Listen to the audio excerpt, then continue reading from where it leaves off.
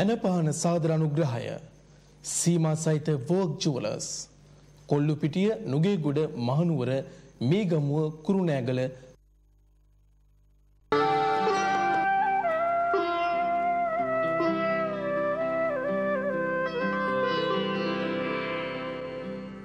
හිතක නැගෙන ඉසිකෝමන් මුලින් සිඳ.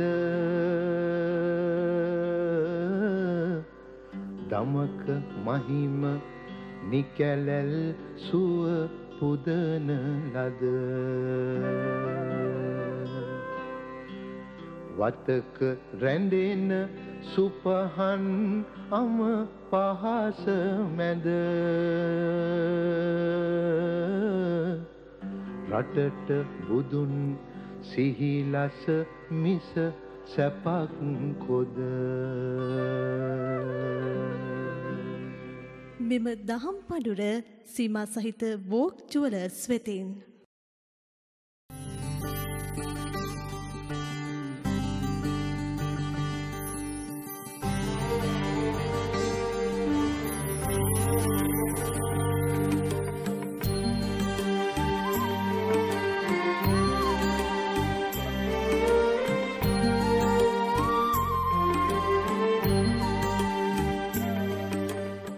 අයිබෝවන් තෙරුවන් සරණයි. නැනපහන දහම් පඳුර කාලීන දහම් සාකච්ඡාව. අපේ සිත් නිවන අපේ සිත් සනසන අපිට හරි මග බොදු මග කියා දෙන සිකුරාදා රාත්‍රී දම් සභා මණ්ඩපය නැනපහන අදත් ආරම්භ කරන්නයි අපේ මේ සූදානම. වෝක් ජුවල සායතනය. ඒ වගේම මේ TNL රූපවාහිනිය. එකට එක්ව ඔබ වෙත පිදෙන නැනපහන. මේ දහා නම වන අවුරුද්දටත් ඔබ වෙත පිදෙන නැනපහන. වඩා යහපත් දැහැමි නිවර්දි සමාජයක්. ගුණදහමින් සපිරි රටක් දේශයක්. එදා සිට අද දක්වා අපේ ප්‍රාර්ථනය අපේ අරමුණ අපේ අධිෂ්ඨානය එය අන්නේ සඳහා අපේ මේ උතුම් දහමින් අප වෙත ලබා දෙන මේ වටිනා උතුම් ආදර්ශයන් මඟ පෙන්වීම් ඉගැන්වීම් තවදුරටත් සොයා යන්න අදත් අපි ආරම්භ කරමු අපේ නැනපහන. අද නැනපහනින් ඔබේ මගේ රටේ නැනපහන් දල්වන්න අපි තාමත්ම ගෞරවයෙන් නැනපහන සඳහා ආරාධනා කරේ ශ්‍රී ජයවර්ධනපුර විශ්වවිද්‍යාලයේ පාලි හා බෞද්ධ අධ්‍යනාංශයේ මහාචාර්ය රාජකීය පණ්ඩිත අතිපූජනීය අතිගෞරවනීය අපේ මැදගොඩ අබේතිස්ස නායක ස්වාමීන් වහන්සේට අපේ හාමුදුරනේ ඔබ වහන්සේව දෙපා නැමද নমස්කාර පූර්වක ඉතාමත්ම ගෞරවයෙන් පිළිගන්නවා නැන පහනට අවසරයි නායක හාමුදුර. හොඳයි හැම දිනාටම තුනුරුවන්ගේ සරණ නිදුක් නිරෝගී සුව ලැබේවා කියලා ආශිර්වාද කරනවා. එහෙමයි අපේ හාමුදුරනේ. පින්වතුනි අද එක පැත්තකින් ටිකක් විශේෂ දවසක්. මේ අවුරුද්දට 2018 අපි ගත කරපු අවුරුද්දේ අවසන් සෙකුරාදා දවස අන්තිමටම නැන පහනෙන් හමුවන දවස අද. ඒ නිසාම අපිට ලොකු ඕනකමක් තිබුණ අපි ලොකු ඕනකමකින් බලාපොරොත්තු වුණා අපේ නායක හාමුදුරන්ගේ වැඩමවීම අද දවසේ ඒ මොකද එළඹෙන නව වසරට නව අධිෂ්ඨානයකින් අපිට ජීවිතයට මුහුණ දෙන්න පුළුවන් හොඳ වටින මාතෘකාවක් අද නැන පහනෙන් සාකච්ඡා කරන්න. අපිට අපේ නායක හාමුදුරුවෝ හරි වටින මාතෘකාවක් ලබා දෙනවා අද සාකච්ඡා කරන්න. ඒ ස්වස්ථ චර්යාව පිළිබඳව. ස්වස්ථතාවය පිළිබඳව.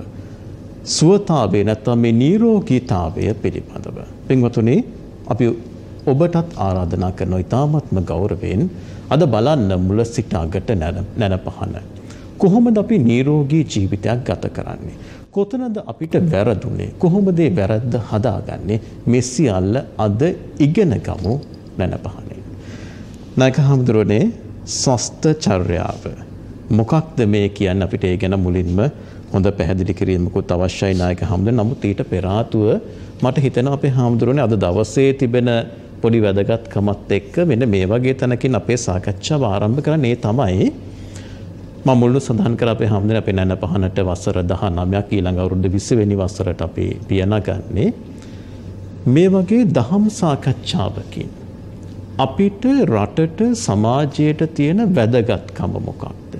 අපි ලබා ගන්න ඕන ප්‍රයෝජනය මොකක්ද? කියලා එක පැත්තකින් අපේ අතිපූජනීය අති ගෞරවනීය ගංගොඩවිල සෝමනායක හාමුදුරුව ආරම්භ කරපු මේ නැන පහන එදා සිට අද දක්වා ආගමික පමණක්මත් නොවේ සමාජීය සංස්කෘතික ප්‍රබල මාතෘකා ගැන සාකච්ඡා කරපු මේ නැන පහන මේ වගේ සාකච්ඡාවකින් සමාජයක් ලබා ගන්න ඕන ප්‍රයෝජනය. නායක හමුදුනේ මම අදහස් කරේ දැන් සමාජය කිව්වහම අපේ ප්‍රේක්ෂකයන් පමණක්මත් නෙමෙයි. අපි පවා මේ පැත්තේ ඉන්න අය නිවේදකයෝ සංනිවේදකයෝ නිෂ්පාදකවරු මේ ආයතන මාධ්‍ය ආයතන මේ සියල්ලක්ම ඉගෙන ගන්න ඕන පණිවිඩය මොකක්ද අපේ හැමදෙරනේ අලුත් වසරකට යන්න ඉන්න වෙලාවේ මේ වගේ තැනකින් අපි කොහොමද අපේ සාකච්ඡාව ආරම්භ කරන්නේ අවසරයි නායක. හොඳයි. දැන් චාමික මහත්තයා ආගම කුමක් සඳහාද? ආගම ආගම සඳහා නෙමෙයිනේ. ආගම තියෙන්නේ ජනතාව සඳහා සමාජය සඳහා. ඒ නිසා අපේ බුදුදහමේ තියෙන සුවිශේෂත්වය තමයි මොනයම්ම හෝ සමාජ සන්දර්භයක් පිළිබඳව සාකච්ඡා කරන්න අවශ්‍ය කරන ඉතාමත්ම වැදගත් සෛද්ධාන්තික කාරණ අපේ දහම තුළ අන්තර්ගතයි. වෙන විදිකින් කිවොත් දැන් පහුගිය සාකච්ඡාවලදී අපි අධ්‍යාපනය ගැන කතා කරා. එත අධ්‍යාපනය පිළිබඳව තියෙන යම්කිසි සිද්ධාන්තමය සාකච්ඡාවක් තියනොද ඒක බුදු දහමේ ඉතාමත්ම ගැබුරින් විශ්ලේෂණය කරනවා. පෞගිතා දවස කතා කර පලදායිතාව ගැන. එස් පහව එනුවෙක් සංකල්ප අපේ චන්දරගුණ රදන මහත්තේල මැවිල්ල. එදර ඒ සම්බන්ධෙන් තියෙන ඉතාමත්ම සිද්ධාන්තමය යම්කිසි ප්‍රවේශයක් තියනවා දෙක තමයි බුදු දහම තියෙන කාරණ. ඒවගේම අපි කතා කරනවා සමාරලාවට පරිසරය ගැන. පරිසරය පිළිබඳව යම්කිසි පරිසර විද්‍යාඥයකුට සොයායා හැකි සොයායා යුතු කිසියම් ගැඹුරුම සිද්ධහන්තය හොයාගෙන ගියොත් ඔහුට බුදු දහම තුළින් තමයි හමුවෙන්නේ. තිය නිසා මම මේ සඳහන් කරන්නේ ලෝතුරා බුදුරජාණන් වහන්සේ දේශනා කරන දහම මුළුමහත් ලෝකේම නිවන සඳහා වන්නා වූ දහමක් වුණත් නිවෙනකං ජීවත්වෙන මිනිස්සුන්ගේ ජීවිත කොහොමද නිවැරදිව තමන්ටත් අනුන්ටත් කරදරයකින් තොරව පවත්වා ගන්න කියන එක පිළිබඳව ගණනවා. දැම් බලන්න බුදුදහම පෙන්නනවා හොඳ කියලා කියන්න මොකක්ද. හොඳ කියලා කියන නේව අත්ත ්‍යාබාධායපි සංවත්තති න පරභ්‍යාබාධායපි සංවත්තති. තමන්ටත් හානි නොවන අනුන්ටත් හානි නොවන විදියට පවතින්න පුළුවන්න ඔන්න හොඳ. යමක් තමන්ටත් හානිකරවේද අනුන්ටත් හානිකරවේද ඒක තමයි නරක. එතකොට මේ සමස්ත වැඩ සටහනම චාමික ඔයා අරගෙන මුලහින්ද ලාකට අවුරුදු දහනමේම බලන්ඩ. මේ අවුරුදු දහනමේම කතා කරලා තියෙන්නේ හොඳ නරක දෙක ගැනයි. ශ්ලෝකාර්ධයන ප්‍රවක්ෂාමී අදුත්තං ග්‍රන්ථ කෝටිෂු පරෝපකාර පුුණ්ඥාය පාපාය පරපීඩනං. ශ්ලෝක භාගකින් කියන්නම් පොත් කෝටියකින් කියන දේ. පරෝපකාර පුුණ්ඥාය අනුන්ට උපකාර කරන එක තමයි පින්. පාපාය පර පීඩන අනුන්ට අපකාර කරන එක තමයි පව්. එතවන මුළු වැඩසටහන් අවුරුදු දහනමය පුරාවටම කරලා තියෙන ඕනන් කරලා තින පින් පව් පිළිබඳවයි. හොඳ නරක පිළිබඳවයි. යහපත අයහපත පිළිබඳවයි. කළුසුදු පිළිබඳවයි. පුං්ඥ පාප පිළිබඳවයි. සාධාරණය අසාධාරණය පිළිබඳවයි. එහෙමනම් මේ වගේ වැඩසටහන් සමස්තය අවසාන වසයෙන් මෙහි යික්‍යයකුමක්ද කියලා ඇහුවොත් එහෙම සමාජයේ තියෙන දුබලතා දුරු කිරීමටත් සමාජය තුළ තියෙන යහපත් ගුණධර්ම වැඩි දියුණු කිරීම සඳහාත් කරන වැඩපිළිවෙලා. අශෝක රජ්ජුරුවෝ තමන් සිලාලයකන පිහිටෝල ලිං කපල ගස් හිටෝල මහා සමාජ කාර්යභාරයක් ඉටු කරලා. එතුම කියන සවේ පීති ලසේ. මම මේ සියල්ල කරන්නේ ප්‍රීතිය සඳහාය සතුට සඳහාය. කුමක්ද මේකෙන් උපභෝගාය පසුමු නිසානං සත්තු මිනිස්සු මේ ගස් යට ඉඳලා මේ වතුර බීලා මේ ලිංවල ඔවුන් සමචලියා යහපත් චර්යාවට ගුණධර්මයන්ට එනවද ඒකයි මගේ බලාපොරොත්තු. ඒ නිසා මම හිතන්නේ TNL රූපවාහිනී සේවය මේ නැන පහන ආරම්භ කරලා ඒ රටේ හිටියේ මහා සුවිශේෂ ශ්‍රේෂ්ඨ යතිවරුන් ගෙන්නලා උගතුන් ගෙන්නලා මේ කරපු සාකච්ඡාවෙත් මං හිතන්නේ ඓක්‍ය කුමක්ද කියලා ඔබෙන් ඇහුවොත් ඒ ඓක්‍ය තමයි සමාජයේ සුවපත් කිරීම. ඒ නිසා මේ වගේ වැඩසටහන් වල අරමුණ තමයි සමාජයේ සුවපත් කිරීම. ඉතින් ඒ නිසා ඒකට භික්ෂුන් වහන්සේලා නිරන්තරයෙන්ම සහභාගී කරගන්නේ මොකද අපේ රට සම්බුද්ධ ශාසනය තුලින් ශික්ෂණය ලැබපු රටක්. අපේ චින්තන ක්‍රමයට ගැලපෙන්නේ බුදුදහමත් එක්ක එන මේ දර්ශනය හා බුදුදහමේ සංස්කෘතිය මගින් ගොඩනගපු ඒ චින්තනයයි. ඒ නිසා ඒ සියල්ලත් එක්ක සාකච්ඡා කරනකොට මිනිස්සු සමාජයට දැනෙන්න ගන්නවා මේ මටයි කියන්නේ. මොකද අපේ දැන් අපි ගත්තොත් එහෙම අපේ මසල් මෙමරී කියල එකක් හැදෙනවා නේ කම්පියුටරේ ගහන අයට එහෙම මසල් මෙමරියක් හැදෙනවා.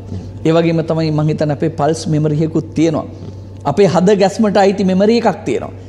ඒ නිසා ඒක තිය හැදිලා තියෙන බුද්ධාගමත් එක්ක. ඒ නිසා අපි මේ කතා කරන දේවල් මිනිස්සුන්ට සංවේදී සංවේදී දේවල් එක්ක තමයි මිනිස්සු හිතන්න ගන්නේ.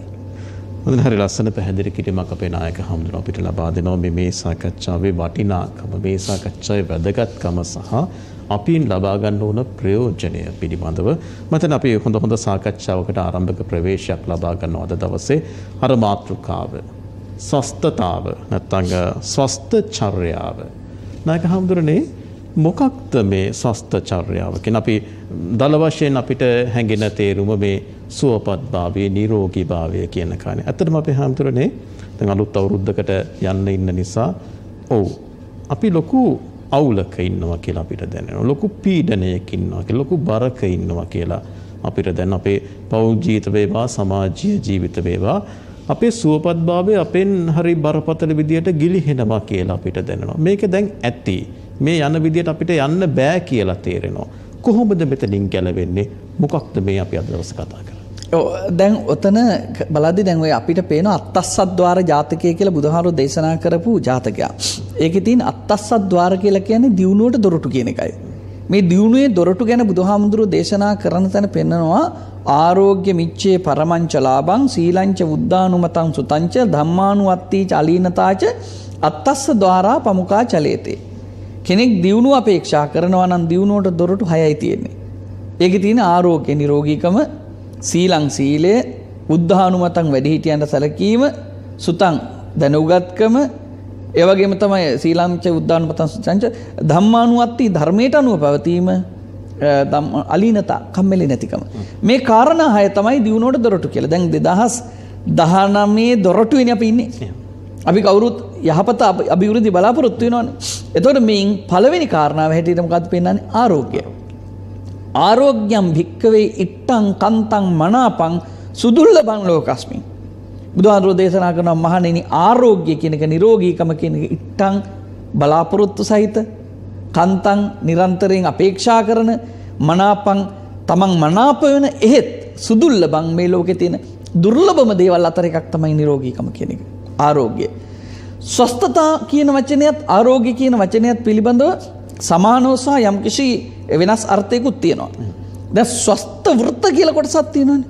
ස්වස්ථ වෘත්ත කියලා කියන්නේ නිරෝගීව පැවතීම සඳහා අවශ්‍ය කරන ප්‍රතිපත්ති සමුදාය. එතකොට ස්වස්ථ වෘත්තවලින් යමෙක් ගිලි වුණාද ඔහු රෝගී වෙනවා. රෝගී කෙනාට තියෙන්නේ ඊට පස්සේ ආරෝග්‍ය චර්යාවන් අනුගමනය කරන්න ඕනේ. නිරෝගී වීම සඳහා. ඒ නිසා ස්වස්ථතාව ආරක්ෂා කරගන්න බැරි වුණාම රෝගී වෙච්ච කෙනාට ආරෝග්‍ය අවශ්‍ය වෙනවා. නිරෝගීකම ඇති කරගන්න ඕන වෙනවා. ඒ නිසා ස්වස්ථ චර්යාව රැක ගැනීම පිළිබඳව බුදුරජාණන් වහන්සේ ඉතාමත්ම වටිනා දේශනාවන් රාශියක් සිද්ධ කරනවා. ඒක අවස්ථාවක උන්වහන්සේ පෙන්නනවා ද්වේමේ භික්කවේ රෝගා මහණෙනි රෝග වර්ග දෙකක් ඇත. ඒ රෝග වර්ග දෙක මොකක්ද? කායිකෝච රෝගෝ චේතසිකෝච රෝගෝ. කායික රෝගය සහ චේතසික රෝගය වශයෙන්. දිස්සන්ති භික්කවේ සත්තා කායිකේන රෝගේන කයික රෝගයන්ගෙන් විනිර්මුක්තව අපිට දකින්න ලැබෙනවා සත්වයෝ ඒකම් පිවස්සන් ද්වේ පිවස්සානි අවුරුද්දක් දෙකක් තුනක් දහයක් සීයක්. කායික නිරෝගීකම ඇතැයි යමෙකුට ප්‍රකාශ කළ හැකිය. එහෙත් මහනෙන මානසික රෝගයකින් යම්කිසි කෙනෙක් මොහොත්තම අපි මොහොතක්වත් තමන්ට ප්‍රතිඥා කරන්න පුළුවන්නම් මම මානසික රෝගයකින් තොරව ජීවත්වෙනවයි කියලා සුදුල්ලබා ලෝකස්මින් අන්‍යතරෙහි කීනාසවෙහි. රහතන් වහන්සේලා හැර මේ ලෝකෙ හරිම දුර්ලභයි කියලා. එනිසා රහතන් වහන්සේලා හැර මානසික රෝගයන්ගෙන් තොර යමෙක් ඉන්නවා නම් ඊටා දුර්ලභයි කියලායි සුදුර්ලභම් පරම දුර්ලභයි කියලා බුදුහාමුදුරුවෝ දේශනා කරන්නේ. සමහරු එය මං දැකලා තියෙනවා යම් යම් ප්‍රකාශවලදී කියනවා සබ්බේ පුතුජනා උම්මත්තකා කියලා සියලු පෘථග්ජන උම්මත්තකයෝ කියලා ත්‍රිපිටකයේ කොහෙවත් නැහැ. බුදුහාමුදුරුවෝ එහෙම දේශනා කරලා නැහැ. සියලු පෘථග්ජන පුතුජන උම්මත්තකයෝ කියලා දේශනා කරලා නැහැ. හැබැයි අටුවාවේ තියෙනවා පුතුජනා උම්මත්තක සදිසා ප්‍රතක්ජනව වැඩ කරන්නේ උමතුවෙන් වගේ කියලා. ඉතින් අපිට පේනවා දැන් අවුරුදු කාලෙට අඩු ගානේ මේ මේ කඩේ පොලේ ගියත් පේනවනේ මිනිස්සු පිස්සුවෙන් වගේ රෙදි ගන්න හැටි. පිස්සුවෙන් වගේ වැඩ කරන හැටි. ඒක පුතුජන පුතුජන උම්මත්තක සදිසා උමතුවෙන් වගේ කියලා කියනවා. උමතුව කියලා හැම එකක් නෑ. කොහොම නමුත් අරම ප්‍රකාශයක් සබ්බේ පුතුජන උම්මත්තක කියලා කොහෙවත් නැහැ ත්‍රිපිටකයේ. දැන් මේ වැඩසටහන අහන් ඉන්න කෙනෙක්ට පුළුවන් නම් ත්‍රිපිටකයේ හොයලා ඊළඟ වැඩසටහනට පුළුවන් නම් අරන් පෙන්වන්න එන්න. එතකොට මම මෙතනින් වාඩි වෙන්න නැතුව එහාට වාඩි වෙන්න කියලා අපි වැඩසටහන කරන්න පුළුවන්. එහෙම එකක් කොහෙවත් නැහැ. ඒ සමහර වෙලාවට ඔය සමහර උදවිය ඒ දේවල් සමහර තමන් ඔය කටවහරින් ඇහිලා ඇහිලා කියනවා. නමුත් ඒවා නියම නිවැරදි ත්‍රිපිටක අ, කතනයන් ත්‍රිපිටක දේශනාවන් වෙන්නේ නැහැ. කොහොම නමුත් අපි මෙතන සාකච්ඡා කරන්නේ ආරෝග්‍ය ආරක්ෂා කර ගැනීම සම්බන්ධයෙන් බුදුරජාණන් වහන්සේ දේශනා කරන දේශනාවන් තියෙනවා. ඒ දේශනාව ඇතුලේ නිරෝගීකම ආරක්ෂා කර ගැනීම. ඉත්ත කන්ත මනාප ඒ දුර්ලභ දෙයක් හැටියටයි බුදුහාමුදුරු පෙන්වන්නේ. දැපේ හමුදුනේ දැන් දැන් දැන් සමහරු අප කියනවා අපි බොහොම නිරෝගී. අපිට ඔය කියන තරම් ප්‍රශ්න නැහැ. දැන් මේ වගේ ප්‍රකාශ අපි අ, එක පැත්තකින් දැකලා තියෙනවා. අනිත් පැත්තෙන් දැන් නිරෝගීභාවයේ තියෙන වටිනාකම එක පැත්තකින් අපිට දැනෙන කල හිතෙන්නේ අපි රෝගී වුණායින් පස්සේ. එතකන් අපිට ඒකේ වටිනාකම ඒ තරම් ලොකුවට දැනෙන්නේ නැති ස්වභාවයකුත් තියෙනවා. මේකත් අපේ වැරද්දක්ද විදියද නැත්තම් මොකක්ද අපේ හාමුදුරනේ? වර සින්දුවකත් තියෙනවනේ රජෙක් වුණත් ලෙඩෙක් වුණොත් කියනවාට සැකයක් නැහැ නිරෝගීකම හැර සපතක් ලොවේ කොයින්දා කියලා. ඒ නිසා නිරෝගීකම මහා සැපයක් හැටියට පෙන්වනවා. ඒක බුදුහාමුදුරු පෙන්වන්නේ ආරෝග්‍ය පරමාලාභා කියලා. ආරෝග්‍ය පරමාලාභා නෙමෙයි. ආරෝග්‍ය පරමාලාභා තියෙන්නේ. ඒකේ තේරුම තමයි යේකේචි ධනලාභාවා යසලාභාවා පුත්තලාභාවා කිසියම් යසස්ලාභයක් ධනලාභයක් පුත්‍රලාභයක් මේ මොනවා හරි ලැබෙනවා නම් ආරෝග්‍යං තේසං පරමං උත්තමං නිරෝගීකම තමයි මේ සියල්ලටම උසස් වෙච්ච හේතුව වෙන්නේ. ඇත්තටම ආරෝග්‍ය පරමාලාභා කියන එකේ තේරුමත් ලාභ ලැබීම සඳහා නිරෝගීකම මුල් වෙනවා කියන එකයි. නිරෝග දැන් සන්තුට්ටි පරමන්දනං සතුට පරමධනයයි කියලා කියනවට වඩා එතන සතුට මුල් කරගෙන තම- ද- තමයි ධනය ගැන බලන්න වෙන්නේ. ධනය ගැන හිතන්න වෙන්නේ. හොඳටම තේරෙනවා විශ්වාස පරමාඥාතිනේ. විශ්වාස පරමාඥාති. විශ්වාසය මුල් කරගෙන තමයි ඥාතිත්වය ගොඩනැගෙන්නේ. නැතුව ම්- කොච්චර ලේනෑකන් තිබ්බත් වැඩක් නැහැ. විශ්වාස නැත්තම් නිබන පරමං සුඛං කියන්නේත් එහෙම තමයි සියලු අ, සැපයන්ට වඩා නිවන තමයි මුල්ම උසස්ම සැපේ කියලා හඳුනා ගන්න පුළුවන් වෙන්නේ. එතකොට මෙතන ආරෝග්‍ය පරමාලාභා කියලා කියන්නේ නිරෝගීකම උසස්ම එමත් නැත්තම් තමන්ගේ ජීවිතේ ලබා ගන්න තියෙන සියලුම උසස් දේවල් ලබා ගැනීම සඳහා හේතුභූත වෙන මූලභූත වෙන කාරණාව හැටියට. ඒ නිසා බුදුදහම නිරෝගීකම ඒ තරම් ඉහළින් සලකනවා. දැන් අ, එක අවස්ථාවක ලෞතුරා බුදුරජාණන් වහන්සේ නකුල මාතා නකුල පිතා ඒ සූත්‍රයේදීත් පැහැදිලි කරන දෙයක් තමයි මේ නිරෝගීකම යමෙක්ට ලැබෙනවා නම් ඒක තමන්ගේ සංසාරයේ තමන් පුහුණු කරපු දේවල් එක්ක ලැබෙන දෙයක්. ඔයාට මතක ඇති චාමික මේ සම්බන්ධයෙන් හොඳ ගැන්වීමක් තියෙනවා මංගල සූත්‍රයේ. එකක් තමයි පුබ්බේච කත පුඤ්ඤතා. නිරෝගී වෙන්න කෙනෙක්ට පරණ පින් තියෙන්නත් ඕනේ. අනිත් එක අත්ත සම්මා පණිදි. තමාව නිවැරදිව පිහිටුවා ගන්න ඕනේ. දැන් ඔබ ඇහුවා මුලින් සාකච්ඡාවේ දැන් මේ ප්‍රශ්නේ ආරම්භ කරන තැන සමහර උදවිය මම හරි නිරෝගී කියලා බොහොම ආඩම්බරයට කියනවායි කියලා. බුදුහාමුදුර එක අවස්ථාවක දේශනා කරනවා ඉමං චාතුම් ඉම- ඉමං කායම් පරිහරන්තෝ මුහුත්තම අපි ආරෝග්‍යම් පටිජානීය කිමඤ්ඤත්‍ර බාල්‍යා මේ චතු චාතුම් මහා භූතික ශරීරයක් දරාගෙන ඉන්න කෙනෙක්. මං මොහොතක් හරි නිරෝගීමයි පවසනවන මං හරි නිරෝගී කියලා කියනවා නම් කිමඤ්ඤත්‍ර බාල්‍යා මෝඩකම හැරාන් කුමක්ද කියලා. ඇයි? මේක රෝග නිඩ්ඩං පබංගුරං නිරන්තරයෙන්ම රෝගයන්ට ලො- ලක්වෙච්ච නිතරම බිඳෙන බිජ්ජති පූති සන්දේහෝ මේක කුණුවෙච්ච බිඳෙන දෙයක්.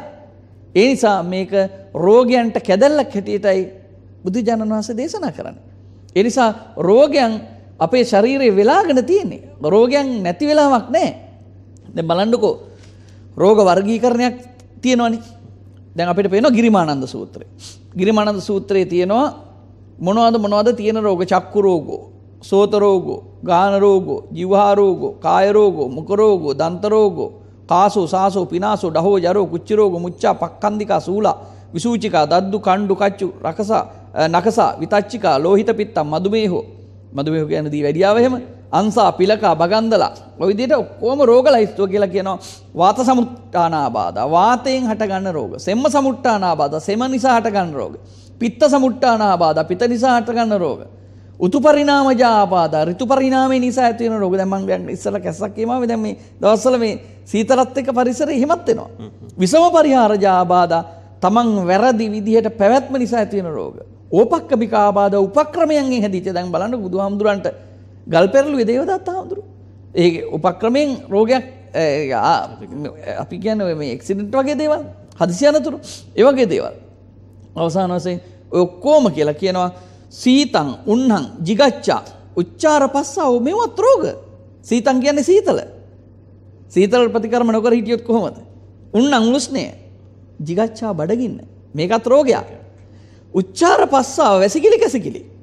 දැන් වැසිකිලි කැසිකිලි නොකර හිටියොත් දෙක ද විරේචන තියෙනවන එක එක විරේචන විරේචනයක් හැටියට විරේකයක් හැටියට මේ ඔය කායික පාරිශුද්ධිය හදන්න නැත්තම් කාය පවත්වාගෙන යන්න වැසිකිලි කැසිකිලි කිරීම පවා අවශ්‍ය වෙනවා. ඒතකොට මේ සියලු රෝග කොටින්ම දැන් ජිගච්ඡා පරමාරෝගා කියලා කියනවනේ. බඩගින්න තමයි පරම රෝගය කියලා. බලන්න ඒක හරි ලස්සනට අටුවාවේ පෙන්නනවා. දැන් යම්කිසි රෝගයක් හැදුනට පස්සේ ඒ රෝගයට බෙහෙත් ඇතත් නැතත් සනීප වෙන්න පුළුවන්. සහ බෙහෙත් කරලා සනීපුණාට පස්සේ ඒ රෝගේ සෑහෙන කාලයක් මැඩ පවත්තලා තියෙන්න පුළුවන්. හැබැයි උදේට කෑවම ආයෙ දවල්ටත් කන්න ඕනේ. දවල්ට කාපු කෙනාට රැයට කන්නත් ඕනේ. ඇයි? ඒ තරම් රෝගයක් මේක. අපි බෙහෙත් අමතක කරලා බෙහෙත් කෑම ගැන හිතමු.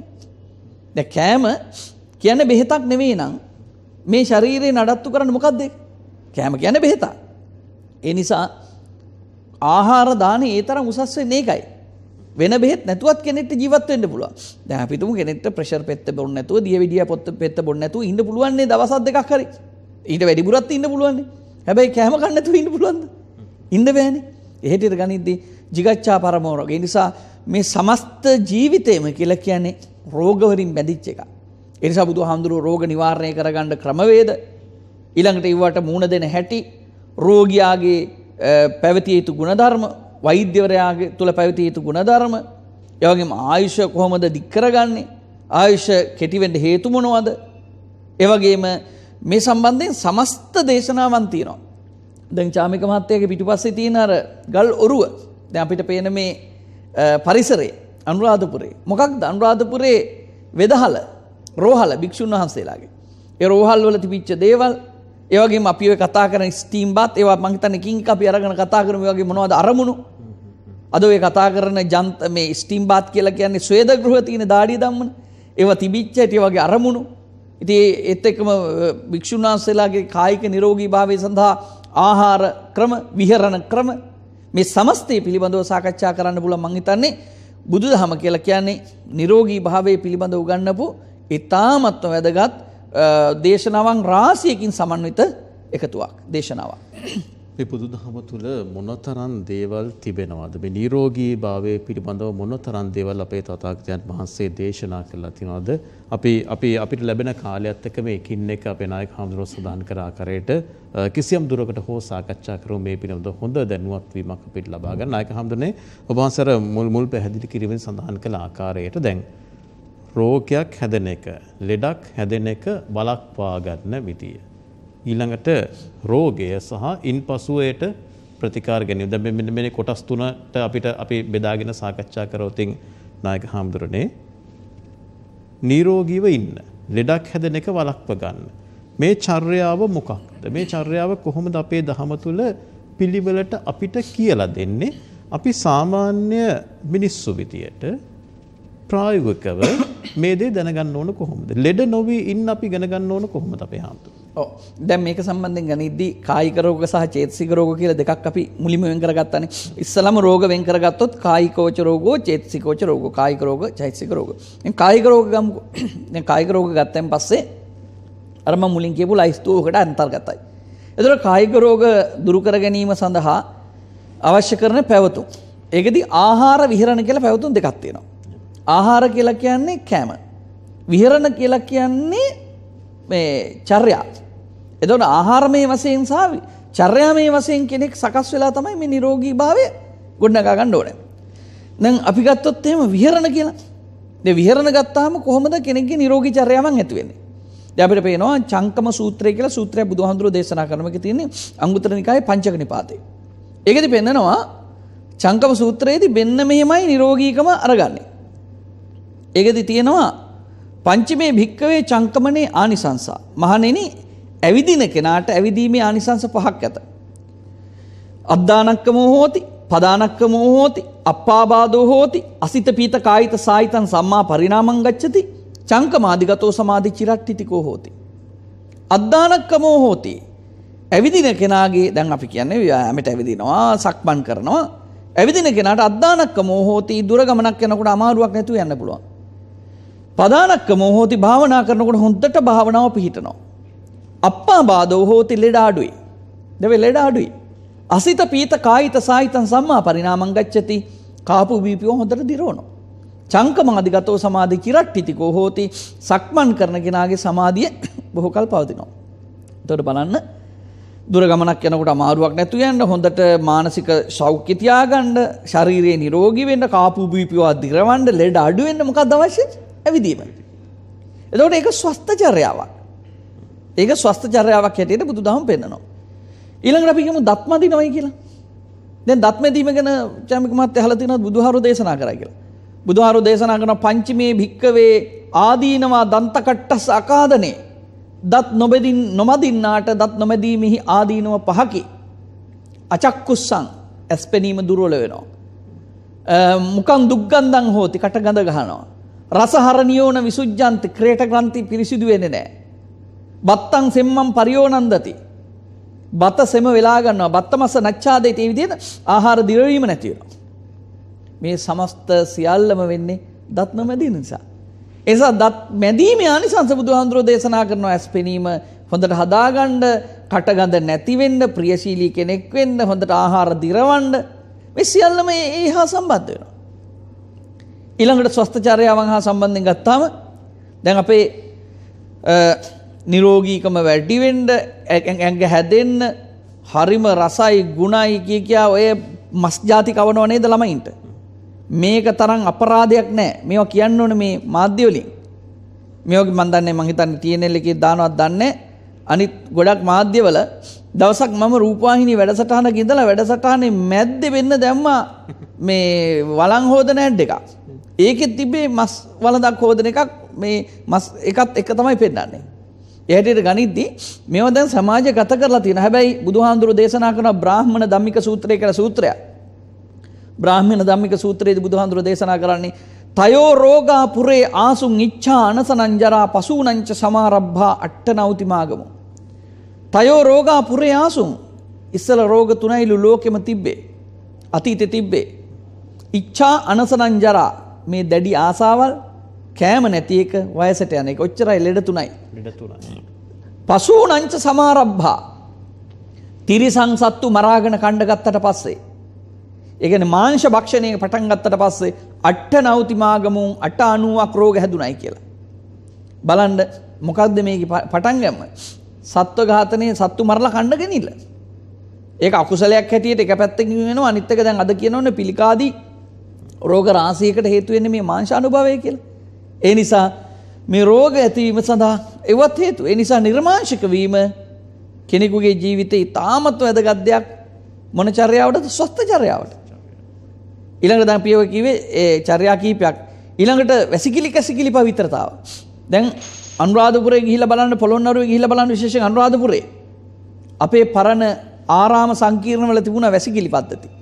ඒ වැසිකිලි පද්ධතියේ මූත්‍රා කරන ටික ගිහිල්ලා මූත්‍රා ටික ගිහිල්ලා කලගෙඩි හතකින් පෙරලා තමයි මහ පොළොවට යන්නේ පාවිච්චි කරන්න පුළුවන් පිරිසිදු බොන්න පුළුවන් වතුර ගන්නට සකස් වෙලා. ඒක තමයි අපේ ක්‍රමවේදය. ඊළඟට කවදාවත් අපේ පරිසරය තුළට ඒවිදි පරිසරයේ මදුරුව බෝවෙන විදියට හානි වෙන විදියට කිසිවක් දැම්ම නෑ මිනිස්සු. ඒක තමයි අපේ චර්යාමය ක්‍රමේ නිරෝගීකම ආරක්ෂා කර ගැනීම සඳහා වයිතා වැදගත්. ඊළඟට බලන්න අපේ චර්යාවන්දියා බැලුවෙන් පස්සේ දැන් වැසිකිලිය ගත්තොත් එහෙම දැන් බුදුහාමුදුරුවන්ගේ කාලේ එක හාමුදුරු කෙනෙක් හිටියා. අඤ්‍යතරෝ බ්‍රාහ්මණ ජාතිකෝ බික්කු. බ්‍රාහ්මණ ජාතික භික්ෂුවක්. ඒ කියන්නේ බමුණු කුලෙන් තමයි මහන්නලා හිටියේ. එයා වච්චන් කත්වාන ආචමේති වැසිකිලි ගිහිල්ලා හොදන්නේ ඉතින් මේ හාමුදුරුවන්ගෙන් අනිත් භික්ෂුන් වහන්සේ අහනවා මොකද ඔය ඔහොම හොදන්නේ නැතුව එන්නේ? කිව්වා කෝ ඉමං වසලන් දුක්ගන්ධම් පරාමසති. කවුද මේ දහජරාව අල්ලන්නේ? අතින් අල්ලන්න බෑ කියලා හොදන්නේ. අන්තිමට කිමි රෝගෝ උට්ටහි. මේ හාමුදුරන්ගේ පණු රෝගයක් ඇති වෙනවා මල මාර්ගේ. අන්තිමට මේ හාමුදුරන්ට මේක බුදුහාමුදුරන්ට දැනගත්තට පස්සේ බුදුහාමුදුර මේ හාමුදුරන්ට අවවාද කරනවා. න භික්කවේ සති උදකේ ජලයේ තියෙනවා නම් ඒ විදිහට වැසිකිලි කැසිකිලි ගිහිල්ලා සෝදන්න නැතුව ඉන්න එපා. ඒ නිසා වැසිකිලි කැසිකිලි ගිය කෙනා සෝදන්න පවිත්‍ර කරගන්න ඕනේ. ඒක ඊටා වැදගත් දෙයක්. ඉතින් නිසා ඒ හැටියට මේ කෙනෙක්ගේ සෞඛ්‍ය සම්බන්ධයෙන් ගත්තන් පස්සේ වැසිකිලි කැසිකිලි පවිත්‍රතාව තමන් පිරිසිදුකම අනිත් එක නානයක දත් මදිනේක ඇවිදිනේක මේ සියලු චර්යාවන් බුදුදහම ස්වස්ථ චර්යාවන් හැටියට පෙන්න දෙනවා. ඒම පැහවදන අර මේ මස් මාලු දැන්වීම ගැන අපේ නායක හමුදුර සඳඟ මගේ අවස්ථාවදිත්ම ඊට මේ සාකච්ඡාව අවසානය ඇතරම සඳහන් කරනත් හිටියේ. අපේ ගරු සභාපතිතුමා වැඩසටහන බලන් ඉඳලාම සඳහන් කරලා තින පොඩ්ඩක් ඒකනත් මතක් කරන්න කියලා අපේ නායක හඳුන ඇත්තටම අපේ හඳුරන්නේ අපේ channel එකේ එක මස් මාලු ඇඩ් එකක්වත් නැහැ. අපේ ගරු සභාපතිතුමා මේ channel එකේ මේ රූපවාහිනියේ එක මස් මාංශ වෙනත් දැන්වීමක්වත් ප්‍රචාරය කරන්න මං හිතන්නේ අපි අපි හැමෝටම හරි ලොකු ආඩම්බරයක් නායක හඳුරන්නේ ඒ කාරණේ වගේ තැනක සේවය කිරීමට ලැබීම පව ඒකනත් අපේ ගරු සභාපතිතුමා මතක් කරන්න කියලත් සඳහන් කරා නායක හඳුරන්නේ. ඒක ඉතා වැදගත් මේ සභාපතිතුමා එහෙම කිව්වනම් මම තව දෙයක් කියන්න අවශ්‍යයි. චාමිකට මතක ඇති දැන් මම ඒක කිව්වට කමක් නැහැ. පහුගිය වැඩසටහනට මම එන වෙලාවේ ලං ඔක්තෝබර් 26 වෙනිදා. ලොකු ආණ්ඩු පෙරලියක් සිදුවෙච්ච වෙලාවේ. මට චාමික කතා කරලා කිව්වා මතකද හාමුදුරුවන්ට සමහරට දැන් එන්නත් බැරි වෙන්න පුළුවන්. ඒ නිසා කමන්නේ මං කොහොම හරි මේ වැඩසටහන මම කරගන්නම් හාමුදුරන්ට කරදරයක් නම් කියලා. මං කිව්වා එහෙම නෙමෙයි අපේ ප්‍රතිපත්තියත් වෙන වැඩ බාරගත්තොත් ඒක අපි එන එක මම එන්නම් කියලා ඇවිල්ලා එනකොට මං ඔයාට මෙහෙම දෙයක් කිව්වා. මම මේ ගැන සුබ පැතුමක් කරනවා කියලා. හැබැයි ශාමික මට වචනයක්වත් කිව්වේ නැහැ. ඒ ගැන වචනයක්වත් කිව්වේ නැහැ එපා කියලා. හරි මොනවා හරි. හැබැයි මම දැක්කා TNL වැඩසටහන් වලදී පහුගිය කාලේ ඒ යම් දෙවෙනියෙන් සිද්ධ වෙච්ච පෙරලීට උදව් කරන්න වැඩ කළා. හැබැයි මං අගය කරන දේ තමයි මෙතන වාඩි වෙන පුටුවක වාඩි වෙන කෙනෙකුගේ කටබඳින්න channel එක ලෑස්ති වෙච්ච නැති එක. මොකද ඒකට ඉඩ කඩ දීලා තිබුණා. ඒක ඉතාමත් වැදගත් දෙයක්. මොකද හේතුව මේ මාධ්‍යයක ඇවිල්ලා අපි කොයි මාධ්‍යයට ගියත් ඒ මාධ්‍ය වැරදි තියෙනවා නම් අපි කියනවා. අපේ පෞද්ගලික අදහස කියන්න අපිට ඉඩ කඩ නැත්නම් අපි මේ පුටුවේ ඇවිල්ලා වාඩි වෙන්නේ නැහැ. පෞද්ගලික අදහස කියන්නේ අබේතිස් සාමුදුරන්ගේ අදහස නෙමෙයි. මට ප්‍රකාශ කරන්න තියෙන අදහස. මං නිසා මං ඒකත් අගය කරනවා. මොකද හේතුව ඒ වගේ වෙලාවක නමුත් ඕනම වෙලාවක අපි මේ දැන් වැඩසටහන වලට අපි ආවට පස්සේ මොනවා කියයිද කියලා ඊළඟට දන්නේ නැහනේ. දැන් මේවා සජීවී විකාශය වෙන දේවල්නේ. නමුත් ඒ වුණාට ඒ ධර්ම කාරණා පමණක් අපි කියනවායි කියන විශ්වාසයක්. ඒ වගේම තමයි අපි ශාස්ත්‍රීයව මේ කටයුතු කරනවා කියන විශ්වාසයක් තියෙන එක එක පැත්තක්. අනිත් කාරණාව තමයි ඒ එන අයට ස්වාධීනව මත ප්‍රකාශ කරන්න ඉඩකඩ සැලසීම කියන එකත් මම හිතනවා ඉතාමත් වැදගත් කාරණාවක්. ඒක සඳහන් කළේ අර කියපු කාරණාවත් එක්ක. හොඳයි මම ඉස්සරහට තව යමක් කියන්නම්. ස්වස්ථ චර්යාවන් කියලා අපි කිව්වේ.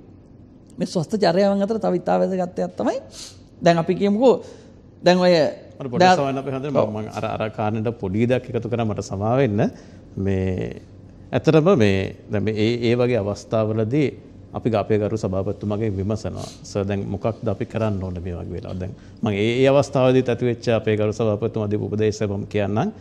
අපේ හාමුදුරුව වඩිනවනං අපේ හාමුදුරුව එන්න කැමතිනං ඕනෑම වෙලාවක මේ නැන පහන අපේ නායක හාමුදුරන්ට විවෘත්තය කියන කතාව ගරු සභාපත්තුම පැහැදිලිව මට කිව්වා අපේ හාමුදුරනේ. ඇත්තටම ඒ නිදහස හරි වටිනවා. මගැන නිවේදකෙක් විදිට ඒ නිදහස ඉදිරිපත් කරන්නෙක් විදිට ඒ නිදහස අපේ නායක හාමුදුරුව ඒ අපි අපි තව විශ්වාසය අපේ සම්පත්දායකයන් ආරක්ෂා කරනවා. ඒ වගේම අපේ ගරු සභාපතිතුමා අපිට ඒ නිදහස දීලා තමයි. එතකොට තමයි මම හොඳ දෙයක් වැඩසටහන් වලින් ඉස්මතු වෙන්නේ නේද අපේ හාමුදුරුවෝ. ඔව් ඒක තාත් වැදගත් දෙයක්. ඉතින් ඇත්තට මේකත් ස්වස්ථතාවනේ. මොකද හේතුව මතයක් පළ කරන්න සහ මතයක් පිළිගන්න. දැන් මිනිස්සුන්ට ගොඩක් වෙලාවට දැන් මානසික රෝග පැත්ත කතා කරද්දී අපිට ඕක කියන්න පුළුවන් මත මත දරා ගන්න බැරිකම. දැන් මත තියෙන්න පුළුවන් ඕන තරම්.